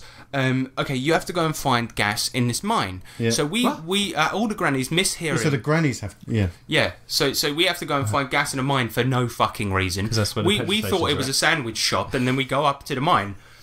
Okay, so so while we're there, the first combat happens, Nick, right? Yeah. And Gary says, "Okay, I want to go on hold." So he turns his car to the side Yeah. and he says, "I want to interrupt the guy." Mm. And he he rolls to interrupt, and then the guy just says, "You hit, you kill the chicken." That's not how it works at all. Secondly, every single roll you did, Nick, Yeah. would would would succeed. It didn't matter what you rolled. Harrison rolled a critical failure, and this is what happened. I killed the guy in one hit, vaporizing his head. Didn't So, even roll damage. Harrison had this had had this super uh, this uh, edge. What was it called? it The was it was called like Wicked mighty smash. Mighty Smash. like- yeah. So so Harrison went to slap the guy, rolled a critical failure, Still killed him. and apparently his head got completely smushed against the wall and and, and uh, vaporized. And the only bad thing that happened was the hand broke. Yeah, and then Gary at one point he rolled just an action to interrupt to be able to take an action. Yeah. Killed a chicken, smacking it into a still. Where the still exploded, killing every bad guy into a room. He hadn't even rolled to attack. He just rolled to interrupt the guy's action. And if combat over. and then combat over. the guy, everything you did would succeed, Oh, and everything no. he did would fail. There was a point where he he said um, he rolled a four to try and shoot somebody, and then he goes, "I know that's not enough to hit you guys." And we're like, "No, ranged attacks, you need Four. you only need a four to Yeah. hit somebody." And he just goes, he just pauses, and then goes. Okay, the next guy tries to shoot, and it was like, "What? You just ignored what we said. We told you the goddamn rules, and you just ignored it. Just got it. Roll We it don't think he nothing. expected um, Savage Worlds people to turn up. Yeah, not only that, but he said he'd listened to the Wild Die before. So that's he- his that's, his, my that's Savage his training. podcast. That's yeah. his training. And he so he's never he picked up the book, hoping know- that the non-savage turn, savages turned up. Oh god, yeah, that's what I think. He picked an obscure rule system so that he could just fudge his way through a story that he wanted to tell. And then he goes. He also said, uh, "I've converted all of these rules from from the grammar world rules." And then he uh, he just all he he didn't convert shit. He just had the fucking spells and he'd written them on the back of World's, uh, Savage World's character sheet. Not to mention, there were bits where he he he he he was like supposedly looking down at a character sheet on his phone, and Gary saw that he was just looking at the home screen on his fucking phone. It was he Picture would, of a cat. He would look down and he was like, "Yeah, that hits." oh, I was like he was doing so. He was- Did he have a screen? Did he have No. a GM screen? No. He was, he was trying to log into the uh, Days Inn Wi-Fi. Oh Yeah. yeah, this big enemy right I was here. sitting right next to him. It's I could the, see the everything he was Wi-Fi beast. Um, now you hit him. I'll tell you what, right? There was one moment when, right, so he brought a load of Jenga blocks to use uh, uh, to Why? As, as walls, yeah, to depict walls and, and to that pick was the actually pretty That's cool. cool. Yeah. But it was cool, yeah. But he just they were all in one straight line, so we didn't even fucking Corridor. need to. And they never Oh, yeah, he never changed them. But not only that, right? So we were, were meant to be going through this cave, and then he was just like to speed it up because we had to dart off to get to the wise guys game. Yeah. Um, and he knew like you know we're on a tight schedule. then he was just like, okay, so I'll move it forwards, and he goes basically you get into the uh, uh, The bowels the, of the bowels cave. of the cave, right? And he spent ages trying to get this image up, right? And we're just like, what the fuck, man? Why is this integral? He, he literally, on his phone, got opened up an endos, endoscope Like, image. no, like a colonoscopy. yeah. Of the inside of an actual anus. Oh, lovely. And And, we're and he just showed like, it oh. to us, and he's like, "That's what." He's like, "That's what you see, man. this is the this is the bells of the cave." And all of us, we were just like, I just said to him, "I feel genuinely uncomfortable." Yeah. like why have Where's shown your me X card when you need it? You know. Yeah, and, and and then like like there was another guy at the table who had this confusion like thing, right? So his character would be confused for one d six rounds every Okay. time we entered any scene, and think how long that is in a Savage Worlds Oh, game. So the only notable thing his character did throughout the whole game was he attacked an enemy that was already dead.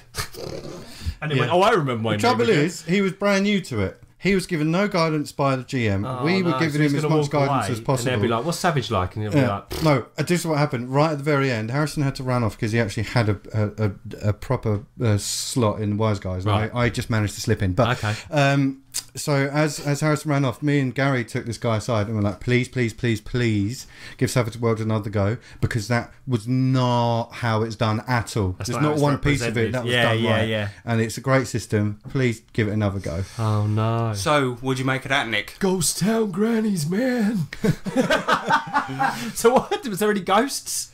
No, no, it's because it was in a ghost, like an empty town. Ah, yeah, ah, yeah. with a mine, with a petrol station in a mine. yeah. Yeah, okay, no, no. And one thing as well is he kept trying to get us to make racist jokes about a Mexican bus driver, but none of us were taking the bait. Oh, well, you, you don't. You, And, and he actually used the word, and I'm going to say, it, I know this is terrible, listeners, but he, ke- he kept saying Mick, which I think is an Irish racist that's term. a uh, slur for uh, an Irish American. Yeah, because I, think, was and playing an yeah. Irish character, and he kept saying, "Because you're a dirty Mick, man," and I was like, "What the fuck?" So is he's a wrong with raving racist and uses Yeah, uh, and he kept saying- role play to masquerade the fact. Yeah, and he kept on saying beaner as well, and I was like, I know that's not. that mean? it's, it's a racist term for Mexicans. Yeah. I know we Ah. don't really say it here, but like he kept saying it. He kept saying it, and I was like, what the fuck, man? he looks at you and goes, "Do a Chinese food one, man. Come on, man." It's, it was just like you've got to understand horrible. that that stuff is unacceptable. Yeah. Even if you find it funny, and even if you could do it among your mates, bl- Don't Christ. roll it out at a con with a bunch of people from across the world. Yeah, what's wrong with you? You know Like- how up stiff upper lip we are, especially No, no, no, no. especially considering that we're from England. Like, it, if you're going to make racist jokes about Irish people, there is going to be a high chance that we know or, a lot of or, Irish. or have Irish in us, yeah, Right. because it's not that far away from us. Ninety percent of people from England go, "Oh yeah, I'm half Irish." Oh, well, my right? granddad's Irish, yeah, exactly. My surname's Irish. You know, my surname's actually Irish. so- Yeah, well, there you go. Oh, my Oh, goodness. God, yeah, what my a mum's moron. maiden, McKinney. Right. He's a dumb Mick. oh, no. And he kept on saying lines for us as well. Like, oh god, it was bad. It was really no. bad. He just needs a private improv game with his friends. yeah, and just to go away. Go away. Okay, that was a shame. But next up, we went to the best game we've ever played. Oh, oh yes. It was the So, best Nick- game of the convention. You I- saw you saw the pictures. So I saw the pictures of this and literally spent a good five to ten minutes zooming in with my jaw open. I think the explosion fluff did it for me. That tipped me over the edge. So what are we talking about, Nick? We're, we're talking about wise guys, aren't we? Yeah. Oh my goodness me. Eric. Is that all Eric? Eric's a fucking hero, mate. So I know he's been getting on the craft recently. Is that what he's been up Six to? months of Yeah, effort. Six months of crafting for it this looks game. so, So no, professional. six, it was unreal. Yeah, six months. That's just making, Making the props. shit. Yeah. That's it. Not to mention writing a whole setting. yeah, because he demoed this setting last year at the con. That's right. Yes. Under, when under a different name. It looked incredible. So, for those that don't know, the yeah, Wise Guys is a gangsters setting for Savage Worlds, and Eric, um, he ran us through a, uh, a, a sort of scenario called "The Hills Have Knives," and um, this was really good because um, what good. he did is he made these um, terrains and set and scenarios and things like this, which which were like all physical terrains, which we They were could put our minis on. breathtatingly beautiful. They were, and so hook. so we had one that was like a sort of a desert highway in in in uh, Nevada that had a diner on it. That's it, yeah. And uh, there was another that was an outback area, but but essentially the plot was this: we're in a diner. And uh, these two cops come in, and they've got one of our boys, a made man called Remo. And Remo is, is like, he's been all beaten up, and he was supposed to be at this deal um, with one of our bosses, and it appears to have gone wrong because he's been snatched by the cops. And so what happens is, is we need to get him away from the cops and figure out what happened. Yeah. we also don't want him to be a potential snitch. Yeah, Of course, yeah So we get him away from the cops, and we find out that our boss, Looney John, has been Yay. has been snatched, and along with all the money that was for the deal. Right. So we now need to track Looney John down, get the money. Yeah, And but not only that, he gave us this whacked out story that we couldn't believe. Yeah, because Yeah. he, he was saying that he was saying that he got snatched by people with nets and tridents and things like this. Yeah, and then he got shot with um, fucking uh, Harpoons. harpoons. and shit, and we was just like, It's fucking Atlanteans coming. Yeah, Yeah, and the just like, are you is, is mad? My character Winston, he didn't believe him at all. Who my character's a Black Elvis Who impersonator. you've played before. Yeah, yeah, yeah. And yeah. Winston was going up to him, being just like, "You feeding me a load of crap, man." and obviously, you don't speak that way to a made man. Of so then course, Remo yeah. stands up and he's like, "You talking to me? Kiss my shoe, kiss my shoe." and this bitch." is so this this as soon as that happened, right? gone. LARPing uh, initiated Oh, in in the game. Eric stood up, and I've got photos of it. He was pointing at his at his shoe, going, Nice. "Kiss my shoe, man." yeah, and Eric put put his foot up onto a seat and went, "Kiss the shoe." Kiss the shoe, and then I stood up and was like, "I ain't kissing the shoe. Don't make me do it, man. No, man, no, don't do don't, shoe, don't." man. And then just as I was about to pull my gun, like I was doing it in real life, Yeah. And uh, Tommy, who's who's another made man, who's essentially our kind of boss, Yeah, just, being played by a was lady. like, she, she was just like, "Calm down, calm down," and Eric was like, "Nah, I'm joking, man." And uh, it was so so tense, and then just at Oh, that it's like moment, the um, it's like the old uh, Goodfellas scene. Yeah, Goodfellas. shine box. Yeah, perfect. it was exactly like that. yeah.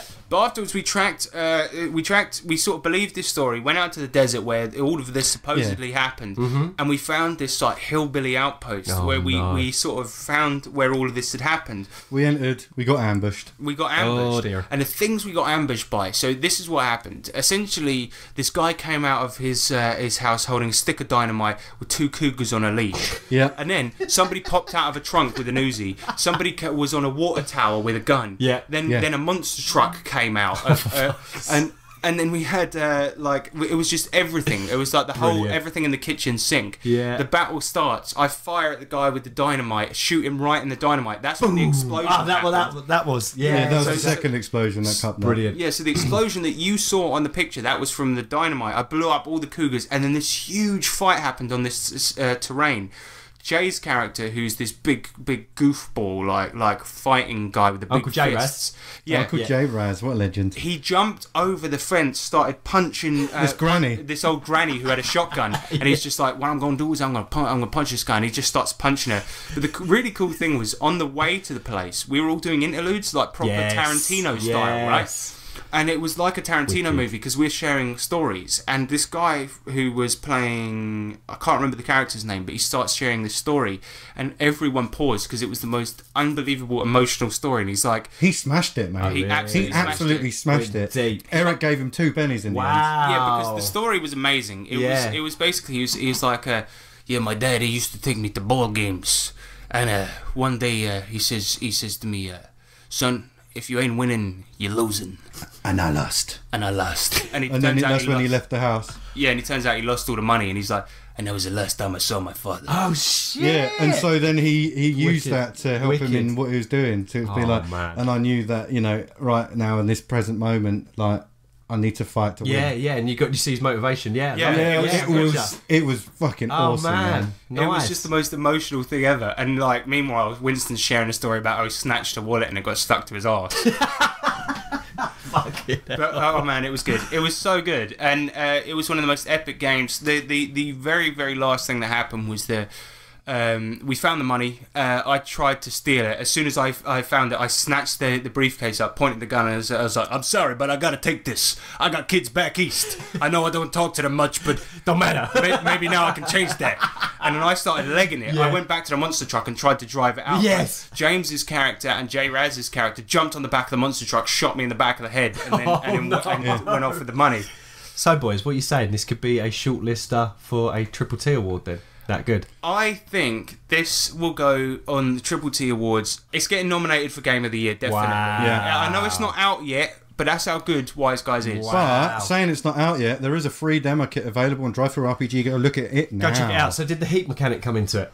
It didn't in this game, Okay. um, because we 'Cause it was a we were one-shot. It was mainly because we were out in the backwoods. Oh, that's Yeah. true. It Yeah, did- it so didn't it's really off, come off up. the radar. Yeah, okay. It would have probably if we played the next scene because we Sure. had killed some cops. Yeah. But man, that that kit. How did Eric get all that shit down to that hotel? Um, his it just fit in the car. I bet it he did. picked us up uh, in, from the hotel we were at, and Yeah. it, I'll tell you what, he packed it fucking well, man. But he had stacks pro. and stacks It was- and stacks of stuff. Really? It was like madness. It was basically like if your wife's going on holiday and she's got Oh, eight, bag, wow, eight yeah. suitcases. I bet he was like a happy little kid for packing the truck up. You know, the great thing about this game was it's a one shot, and I would put it up there with the campaigns that I've played. That's how good it was. That, in that short amount of Yeah. time, it Yeah. was that good. it It's was on par so with a exhilarating. Yeah, I, it was it was off the hook. It was like being Did you feel part like of a movie. gangsters? Did you yeah. feel like gangsters? Oh yeah. I just, I just felt almost starstruck. You know what I mean?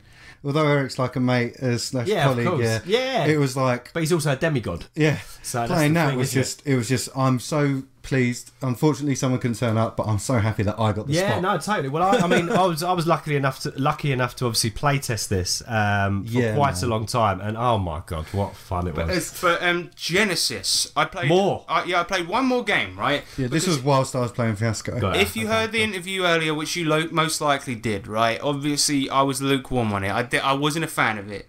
Now, the funny thing about this is, is that I, I kept on hearing like everyone was saying, give it another go, Hmm. give it another go, Mm-hmm. because Jamie loves it. Um, loads of people on the Nerds International um, uh, network and they love good it. players, so there must be a reason for that. There must be a reason. like it. There Yeah. must be a reason, unless they're idiots, right? Which is highly likely. But um, they said give it another go. Yeah, And I was supposed to be running Shadowrun on the Friday night, and instead, I, as they said, right, don't run it. Let's allow it. Let's run a bit of uh, Genesys, right, and and uh, play one with Tony Fanning GMing because then you'll understand. And I went, all right, fine. I was drunk as a fart, but I gave it a go. yeah. And we played Genesys Deep Madness, Deep a horror game uh, Uh-huh. reminiscent of uh, Alien, but if Alien was kind of Because Genesys is generic, right? You can use it with anything. you can use it with anything. Right, gotcha. So uh, we played Genesys with Alien twist, uh, Alien twist to it, and it had like a Cthulhu twist to Alien kind cool. of thing. Yeah, yeah. So what was really cool about this is I finally, finally got the dice mechanics. Yeah. I finally got that you have to narrate everything you do. Mm-hmm. And what this does, the dice mechanics, when you when you sort of roll, you, you build up your pool of dice, you roll it, then you have to kind of narrate what you do. It slows down combat, Right. but what it does is it makes every action meaningful. Yeah, yeah, yeah. It's it kinda- paints a massive picture and helps you, like, makes it more theatrical and stuff. Cool. Yeah, so Not a bad it- thing, yeah. what what it is is that is that like I found that I, I ended up liking it a lot more because every action you do, be it uh, prying a door open, be it hitting somebody, it becomes like a camera shot. It becomes like something out of a movie, and it's like it's like it's almost like fiasco, like a storytelling Yeah, game, yeah, yeah. where your your actions they're not just I hit the guy. Hmm. It's um, suddenly becomes something like. Oh, I run forward. I remember this thing from earlier, and I smack it or As. I do, yeah, yeah. so, I've for got to, example, like I, um, there was a point where I got to advantage but no success. Right. So what happened was is that I was able to, I hit the monster, but I didn't damage it in any way. But I flipped it, and as I flipped it, I, I just I narrated to the GM. I said, "Oh, but I noticed its uh, soft underbelly as Yeah. I do so." Ah, nice. And then I, Yeah, I quickly pointed out to Jamie, who was my old um, mate from back in Brooklyn. Yeah. And I said, So "Oh, they yeah." get an extra dice to their dice pool because of that. Right. Yeah, so, so then. I quickly chucked him a blue dice, which he can use on his next roll. Wicked. So that means he, he then when he swings next time, he, he he's it was his turn. He picks up the next card and goes right. Can I go next? Picks the card and goes yeah. Oh, he's, he's like cheers Franklin, boom, and smacks it in his soft underbelly. That's pretty cool. So, So- it's so far removed from what you're used to. It's a little takes a little bit of time to kind of get your hang, not the hang of, but get your head around. But once you do, and now I re- yeah, and then I started to really like and it. it so then I was flipping story coins, adding Yeah. more to the story, so you can kind of narrate stuff as well. I so like that. when I flipped one, like I don't think the Cthulhu stuff was originally in it. It might have been. I'm Mm-hmm. not entirely sure. But I said that I was having. I flipped a story coin to say that I was having recurring nightmares Okay. about the thing, so that I could have some prior knowledge about it a little yes, bit. yes. And that was something that I added in. And then there was a bit where I wanted to. These little crabs started coming out, and I wanted to have anti-crab spray. so this was like me trying to. What- I wanted to see if you could really push it and what a, an experienced GM would do. I was Right, trying to be a bit yeah. of a dick. Yeah, yeah. And so I said, oh, I, I had a flashback with me and Jamie where I flipped a story coin and me and him were in our apartment in Brooklyn, and it, and I was saying, oh, it turns out the reason we're in this mining colony underground in this submarine is because of the crab apocalypse that was happening up ground. and I said, I said, uh, oh yeah, um, don't ever forget, man, take this anti crab spray Everywhere you And- go. And, then- and he says, well, it turns out you were on a lot of drugs then, and that was a hallucination. Oh, right, fair And enough. so uh, you didn't have anti-crab spray, but what you did have was some mace that he gave you, or something like this. Yeah, I can't yeah. remember what it was, but it was something like that. So The GM gets final say. exactly. Got ya. Yeah.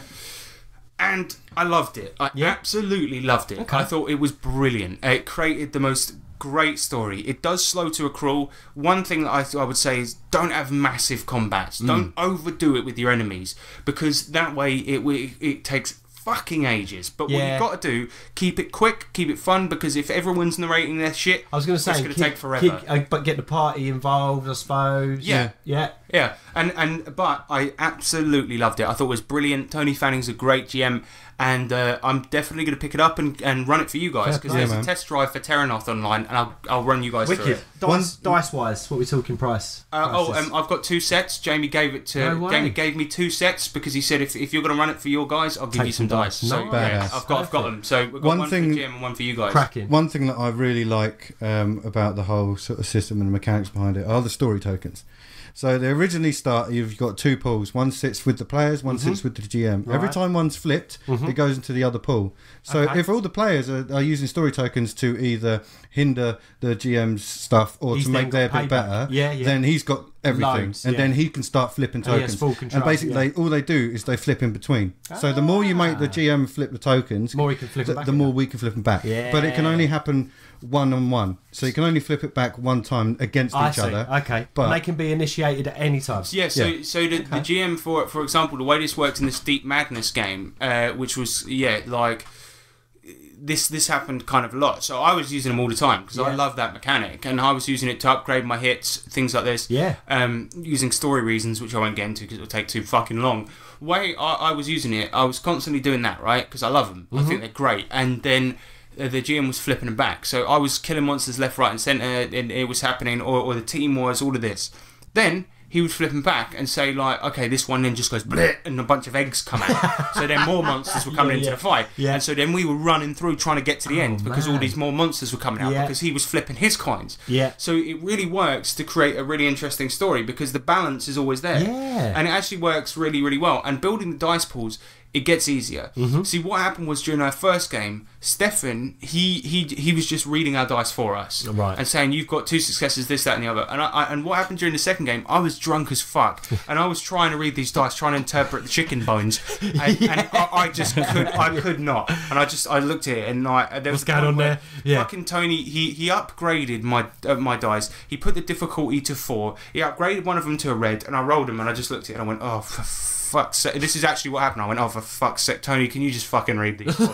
Yeah. And he just went, nope, I'm not doing it. You interpret them. And he gave me this little card. Yeah. Mm-hmm. And it's like it's so easy once you get it because it's like. It's like this cancels this, this cancels this. You, it does take time, but it is easy. That's the thing. Once you, once you get get it, you're like, okay, cool. And it did take me like ten seconds every time, but they were they, they everyone at the table cheered. I went, uh, um, uh, uh.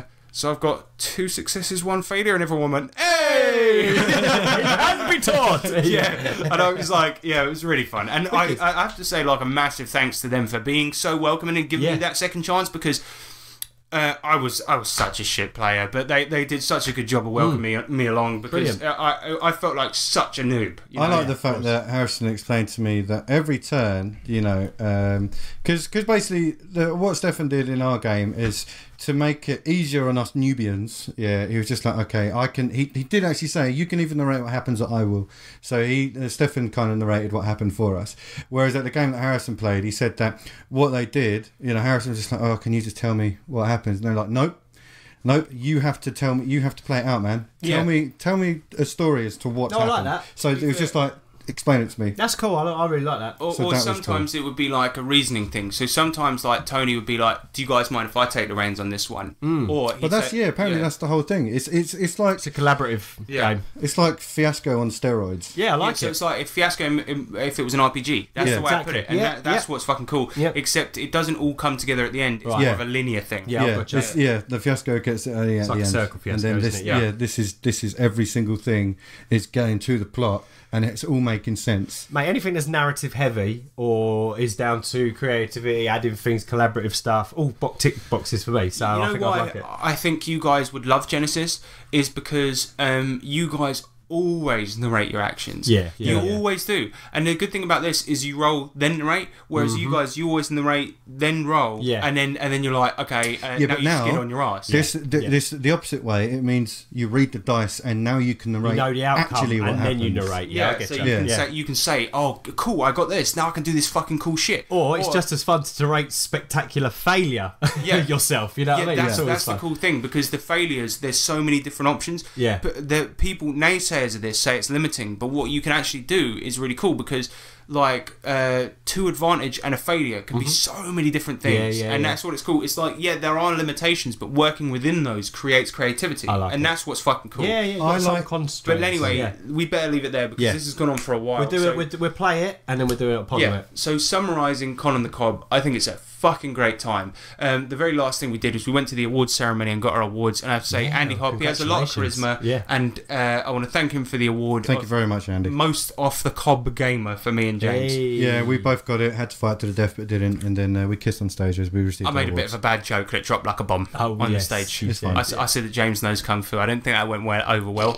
But I did. Except for that one guy who ran that game for you. Yeah, man. Yeah, yeah. The scratty guy was like, But I did make a joke that went down well. I can't remember it. I can't remember what it was, but I did make one that went. Oh no! Oh, no, I it was said, when you were taking a mick out of Andy, saying, "I've met my heroes here."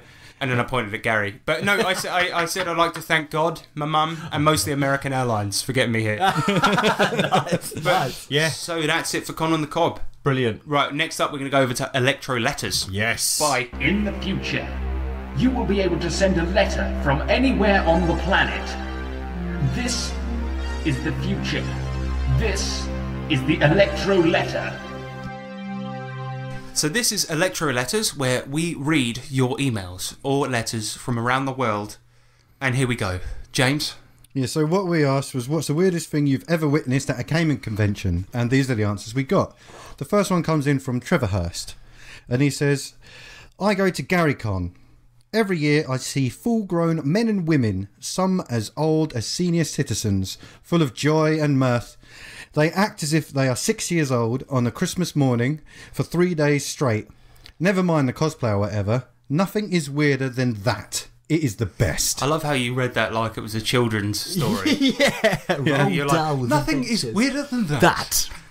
the end. No, but that's so true, man. Yeah. At this convention, people, the, like one of the things I wanted to say was our mate Jay, who we'd met for the first time there. Fucking he love he him. turned up day one, right, and he he basically said he he, he said he put like six cans of beer on the table, and he, he pointed at me. He's like, I don't usually drink this stuff, man. I don't drink a lot, but so so if I have one of these, I'm I'm gonna be real fucked up. And then and then like, A like couple days literally two days later, he downed two bottles of whiskey, and he was like.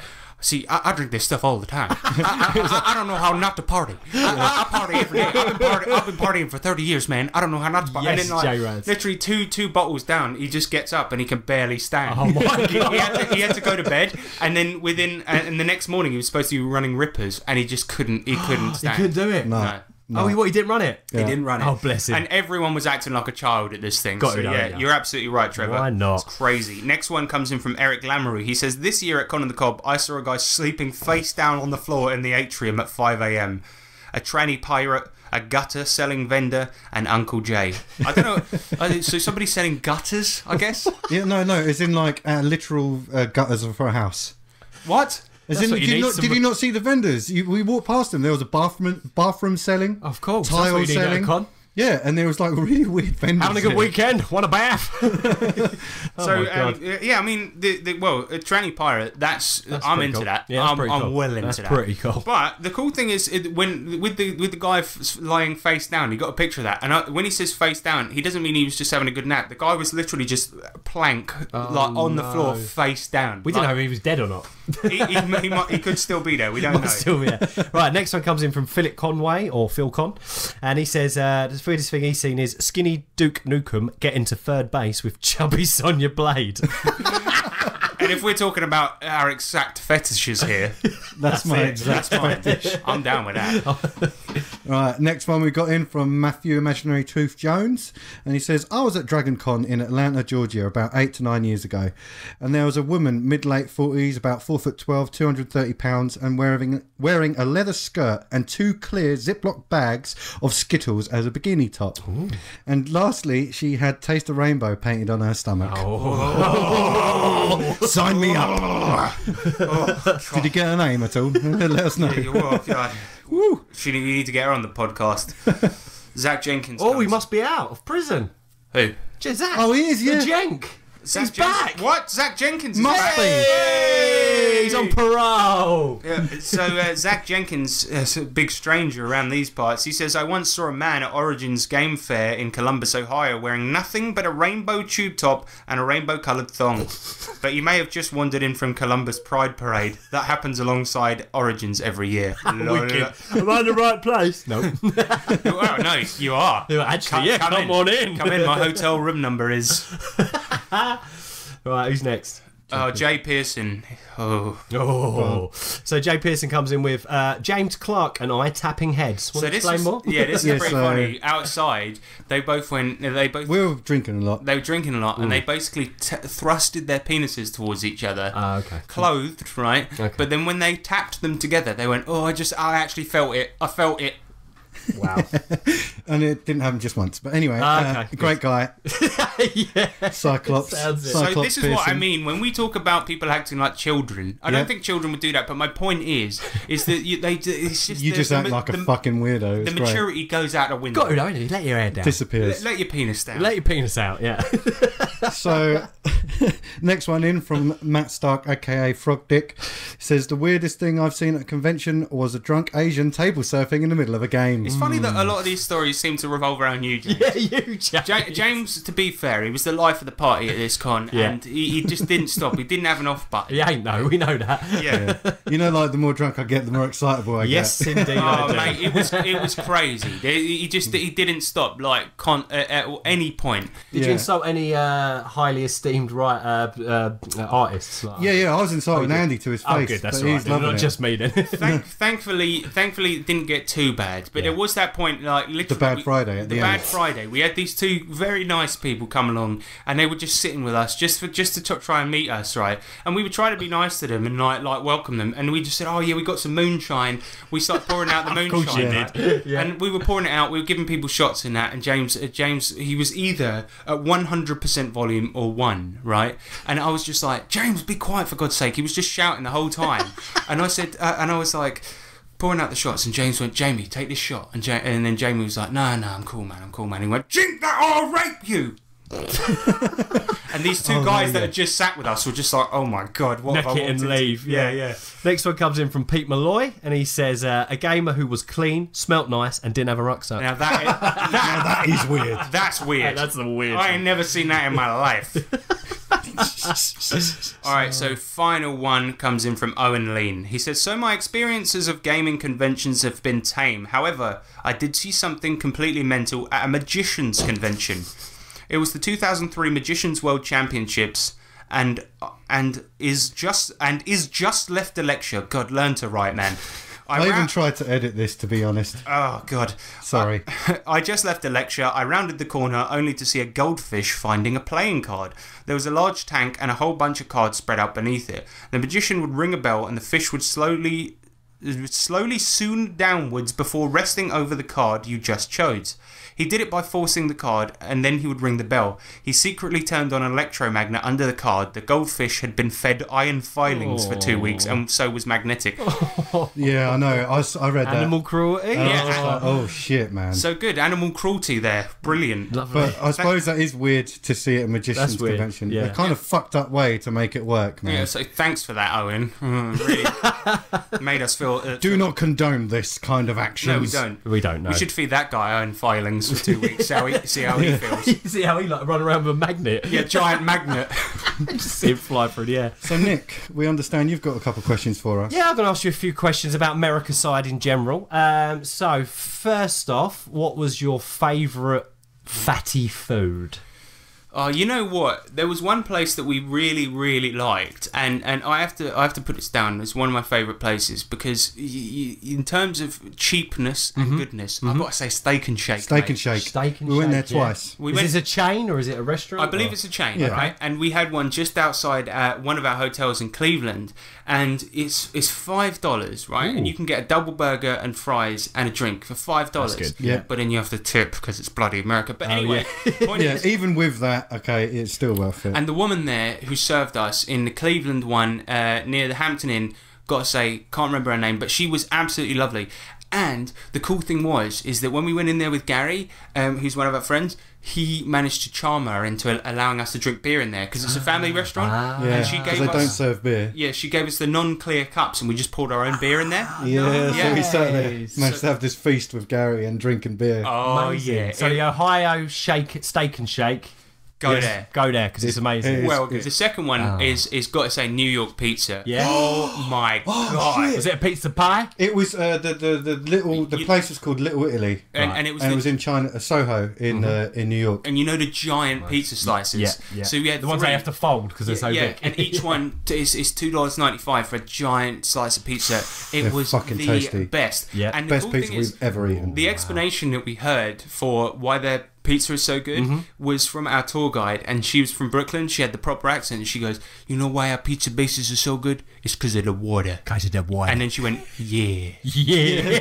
it's because of the water. What's it I'd say- fucking champagne on tap? mate, it was Brilliant. fucking, it was Because- amazing. So yeah, there you go. Why are pizzas so good in Brooklyn? Because of the water. Yeah. I love it. Okay, next question. What was the um, what was the most embarrassing thing both of you did on holiday? Oh, that's that's a toughie. I don't know, man. Harrison first. I've got two. See, I don't know if I did anything that embarrassing. Okay, I'll give you my two. Go on. Yeah, you can do. You can have both then. So when I arrived on the third of November in JFK in New York, it was my friend Helen's birthday. I was out there with Helen this and good. Luke. So we, I arrived, I got to hers, and then we basically just uh, had a very small chat and went immediately out because it was her birthday shindig. We went to this place up Greenpoint, uh, still in New York, and it, it was called a place called Spritzenhaus 33. It was a it was a German drinking hall. Very right? cheap drinks there, aren't they, James? Yeah, yeah, right, right. Let me get to this. So, uh, what happened was, uh, we're all drinking, uh, obviously getting beers and that. Luke was getting in quite a few rounds, and I was just like, all right, it's obviously my turn for a round. And normal British thing, what do I do? So, firstly, I go to the bar, and then I get me, Helen, and Luke each a stein. And for those who don't know what that is, it's a two pint of, it's a two pint glass, um, usually with German beer in it. Uh, but then I also got everyone at the table at the time. There was eight of us, a shot of tequila. Um, now, obviously, their shot glasses are rather large. Put it on the tray. Everything was put in front of me. The bill came to uh, $120. Fucking and I was just like, holy shit. That's a good night out in England. So it wasn't just sort of that was the embarrassing thing. The actual embarrassing thing that kind of oh, happened. that wasn't the embarrassing. No, that was just a dumb move which led to the embarrassing thing. Yeah. So obviously at that point I'd been just completely jet lagged, hadn't eaten very well, like in terms of a full, full meal and everything, and I was drinking like a fucking elephant. Yeah. Uh-huh. Um, and so at one moment I thought that I I needed to just remove myself because I thought I felt really really unwell. I thought I might be sick. So what did I do? I grabbed my coat, I went outside, and I slept on a bench for an hour. Wow. And- you and should the become a bum. Well done. Oh, yeah. Day one. I'm surprised you didn't get robbed. yeah, that's exactly that's exactly. My mum's husband said the same thing. He, he, he was like, "Oh my god, I can't believe he didn't get robbed." And then in uh, Brooklyn. And James James said that he put his hood over his head and like went all like kind of like small on the bench. And I was just like, "Well, he must have just looked like a homeless." Yeah, yeah, he ain't got no money. I, I, yeah. I'll tell you what, it's the smartest embarrassing thing I did because of that hood move. Amazing. All right, cool. So what's embarrassing thing number two? Yeah, oh, embarrassing thing number two was the bad day on the Friday. Oh, when you was, Oh, uh, that was making it. When I was, I was going- I was going mad. and I was- rape. Yeah, yeah, Yeah, basically yeah, that. You've yeah. all heard the story now, but it was basically that. But Harrison actually took me to bed um, Oh yeah, because because I, I did I did the bench move. I did literally the bench move. I Went all just small. I just sat there and then it all hit me, and I just went to Harrison and went, "I've just got to," and then I then put he, my yeah, he started putting his head down on the table. It's about two a.m. at this point. He went, "I just need to. I just need to." And he started. He started putting his head down on the table. And I went, right, James, you're going to bed. And I just Oh, took him back to the room. ya. yeah.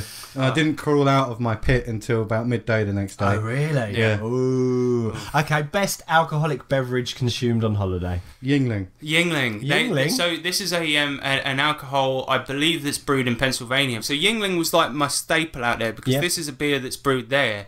And it was amazing, like really, really nice, um, just standard lager, right? Mm-hmm. And it's cheap and cheerful and really nice. But one of the nicest ones that I had, so I went on a brewery tour in in, Yeah, um, nice. in Hershey, Pennsylvania, in this brewery called Tröegs, and uh, that we got to sample so many beers there.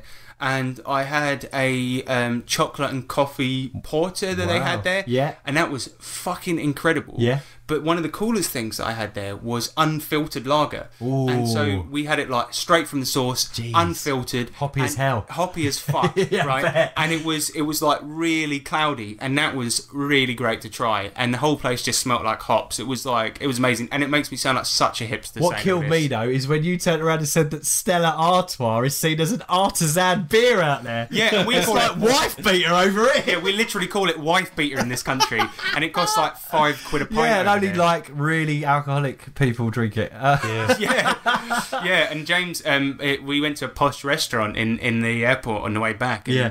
James bought a 23 ounce uh, uh, Stella, and it was like eight dollars. it's- Yeah. Fucking Yeah. hell. So anyway, that's it for electro letters.